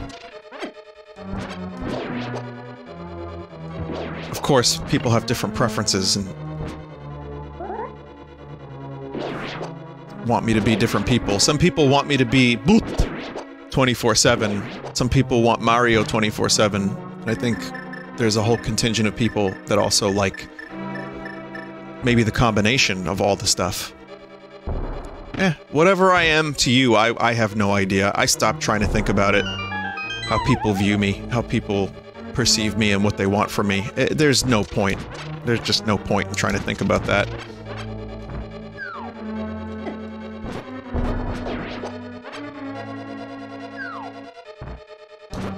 I mean, you could, but then really, you gotta think about you. And I think uh, do more what works for you as opposed to what you think will work for others. The maybe the best result is doing both. I still think, you know, finding a healthy balance that works for you and doesn't make you miserable is is important. So sometimes you will get suck this cock clean, and sometimes you'll get listen. Life can be difficult. and that's why I am sponsored by um, dollarcockclub.com.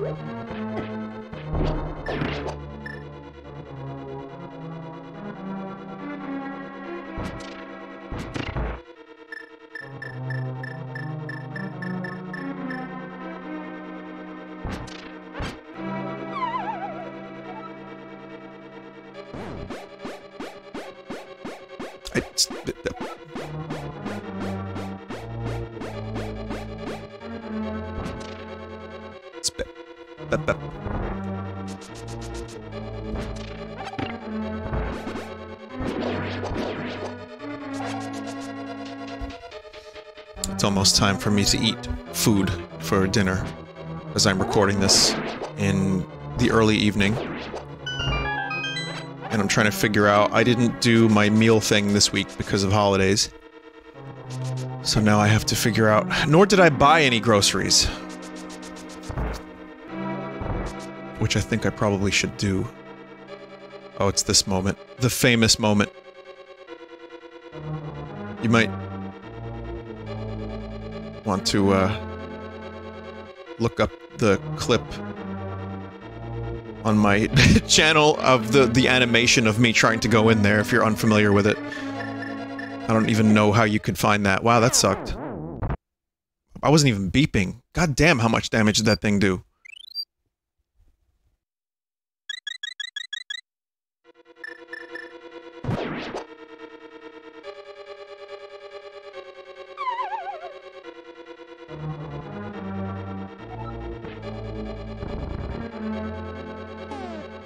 I don't even have the big key. Yeah, this room was slightly modified. I don't remember how exactly, but it, it's modified.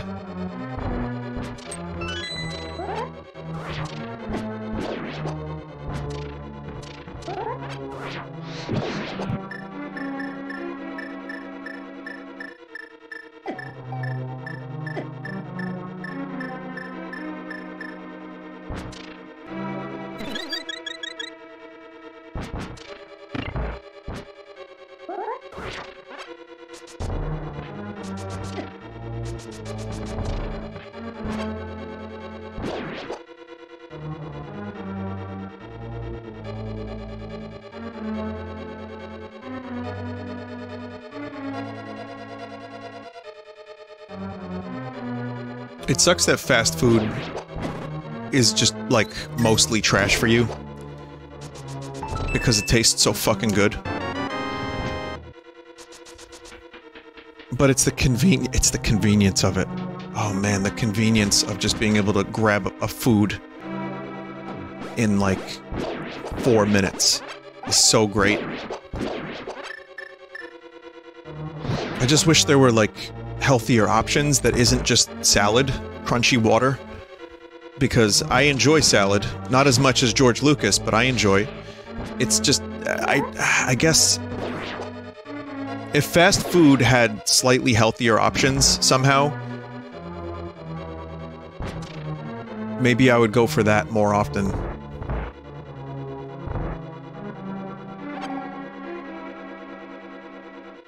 It's like, yeah, I don't really feel like cooking, don't feel like going to a restaurant, don't feel like waiting. But yet, the only option is big, greasy fatberg. And man, does it taste good, but fuck, man, I don't, I don't want to feel like shit after eating the fatberg. Uh-oh. Oh, man.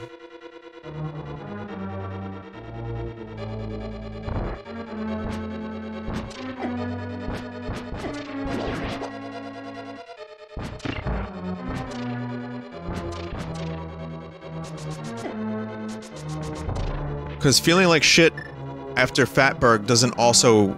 It also includes, like... I start getting, like, mentally not happy. If I eat too much, like, fast food, like, several days in a row. I don't really know how to explain it or why this phenomenon happens. I'm sure there's uh, nutritionists that have very good reasoning. I, I wish I was a floating brain. I understand my friend from all those years ago now about the floating brain thing. I don't like thinking about human body things very often. Like, I, I take my vitamins and, and all that stuff, and I'm on, like, probiotics at the moment to try to rebuild my gut biome, which is a disgusting thing to think about, but, you know, I'm doing that because I was just on antibiotics, and now I want to build that back up and be healthy. However, if I could just be like a floating voice on the internet where people could just watch the videos and I can be that voice and not be like bound to the human realm, I, that would be cool too. I don't, I don't want to think about bodily things and weirdness and what's in my gut. Fuck that shit.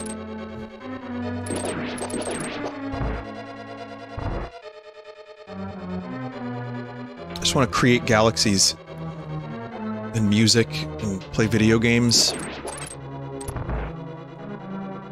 I think the create galaxies part is probably the most reasonable of all the requests. And I want to know I want to know about uh, ancient aliens if they're real. Just let me know. I don't trust the guy with the bird hair. I don't know if he believes in, in the shit he's saying sometimes myself. Himself.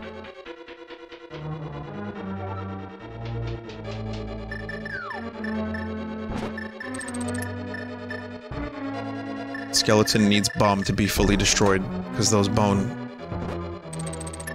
Those bone.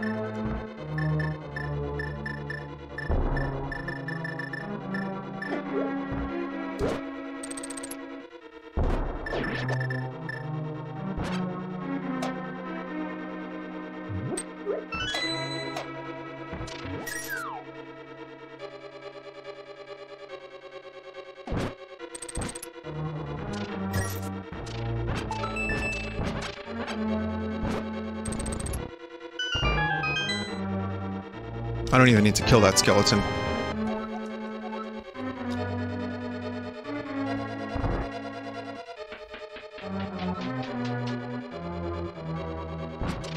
Important room.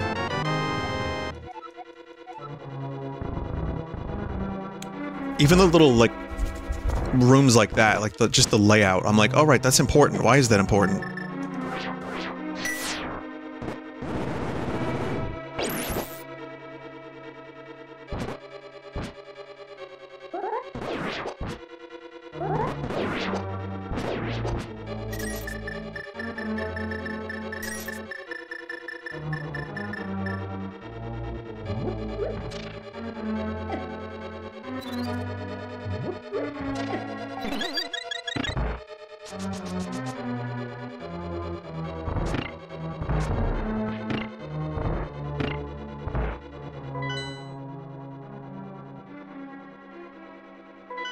Bone.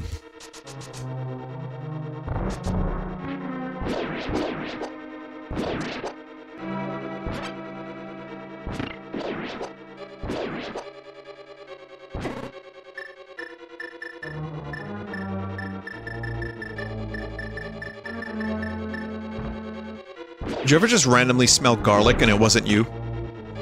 Weird, right? I think it's just Italian psychosis. Don't don't mind me.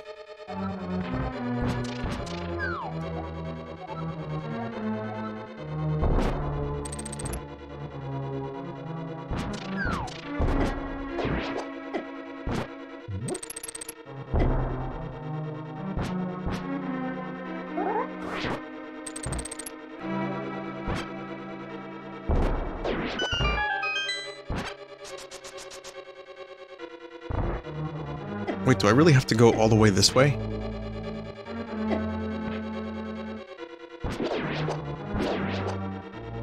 I kind of like Misery Mire, maybe even a little bit more than this one. It is pretty miserable, though. Oh god, I, uh, I have a feeling I went the wrong way.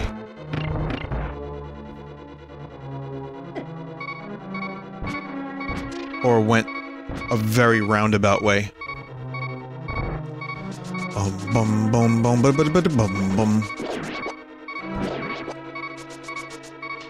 Lazy attempt at singing roundabout.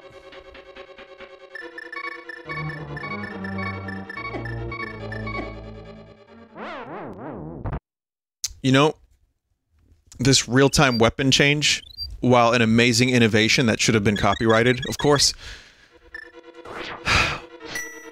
if I had just paused the game and switched, or just fought them with my sword, that would have been one less death.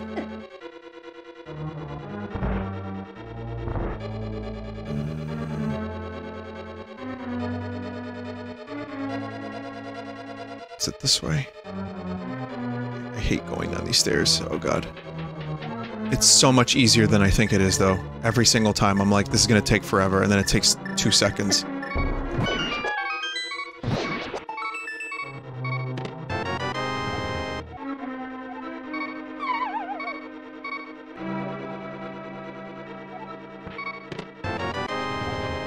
Yes. New look, new Link. I like the, uh, the autumn colors on Link.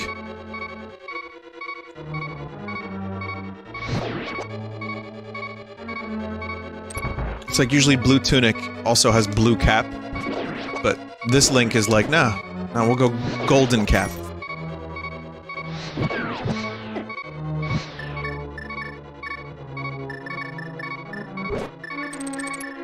Why do these skeletons have green swords? Always found that odd.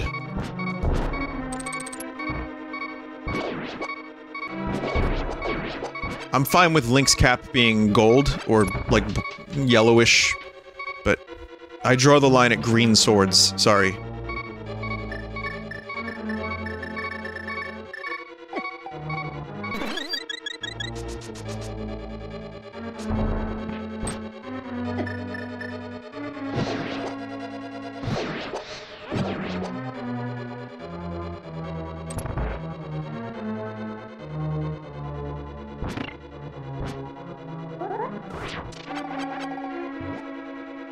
Bunny.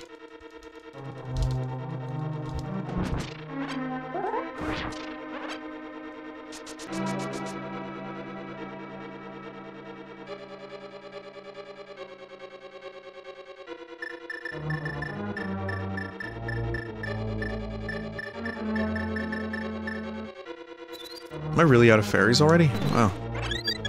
For a pro gamer, I'm really pretty fucking terrible at video games that I've played a million and five times.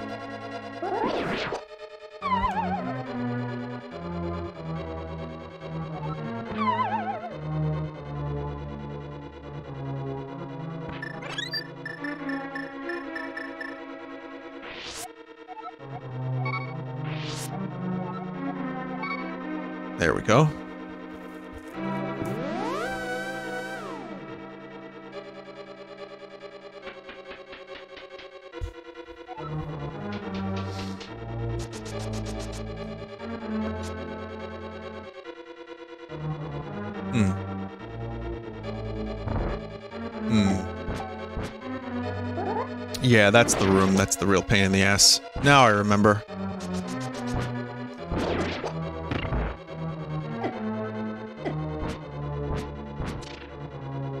Yeah.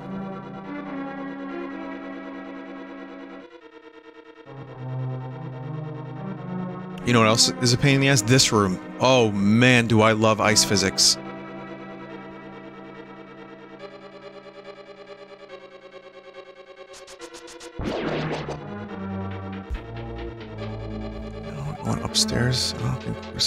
Upstairs is bad. Why are we going upstairs?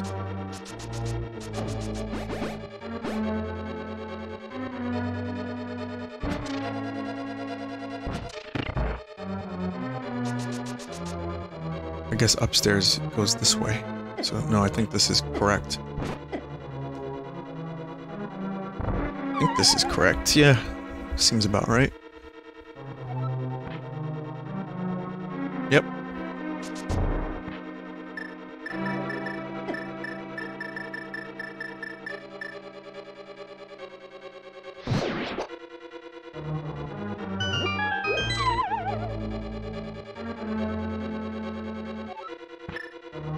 Look at these things' faces.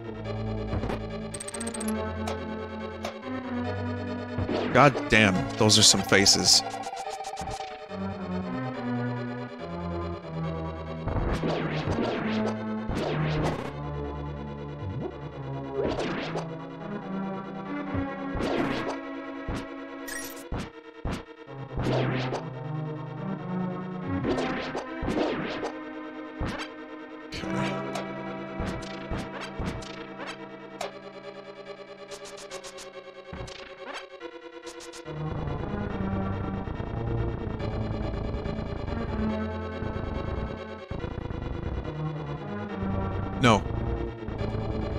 Yes.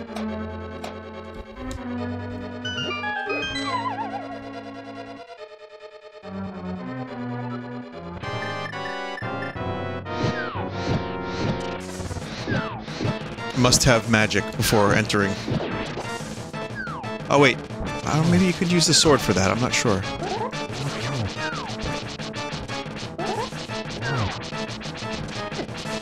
It seems like you would need the magic rod, but what if you don't have magic? Do you just soft lock?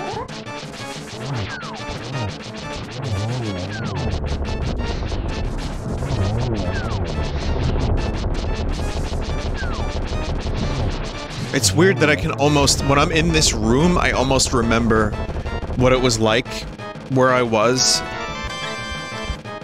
when I first played this game and first defeated that boss and how good it felt. Almost. Not quite.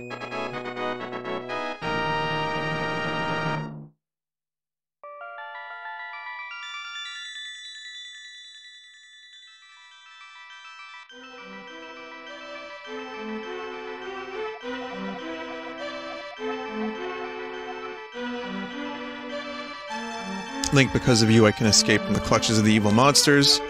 They say the Hylian people are controlled.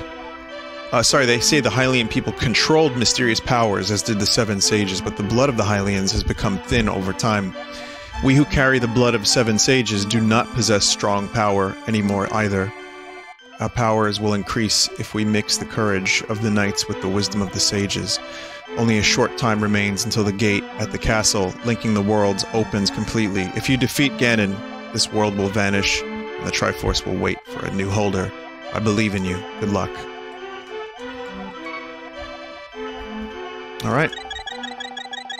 So the awkward middle dungeons have been completed, and Misery Mire remains, Turtle Rock, and then Ganon's Tower. So that'll probably be just one.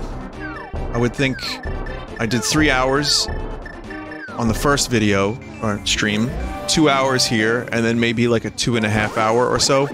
Probably more than that. Probably it would be about three if I did another one. All the way through if I don't... Well, it depends on if I do all the extra shit.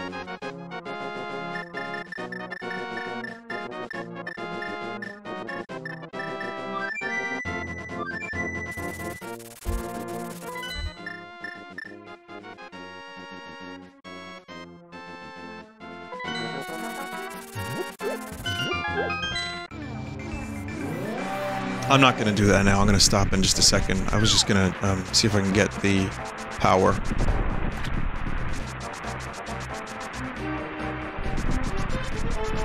I think you can get Bombos. Bombos? Here.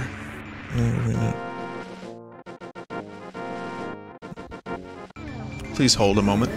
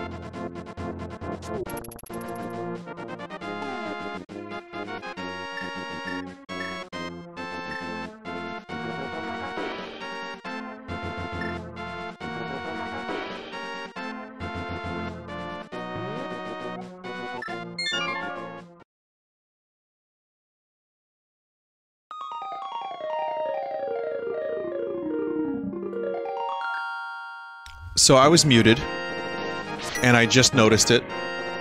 And the reason I was muted is because I had a phone call that no one answered or spoke. So fuck that phone call. What I said was the medallions in this game have magical powers, which is probably why the ones in Ocarina of Time originally had magical powers, but they got rid of them. And then I mentioned that there's a demo of, like, there's a recreation of Zelda Ocarina of Time beta from Space World, which I'm not sure how they recreated. I'm gonna have to find out because I want to play it one day, but I don't know if they used references or they used a bunch of um, stuff that was already available. I'm gonna have to find out before I play it. While I play it, I can deliver the information properly.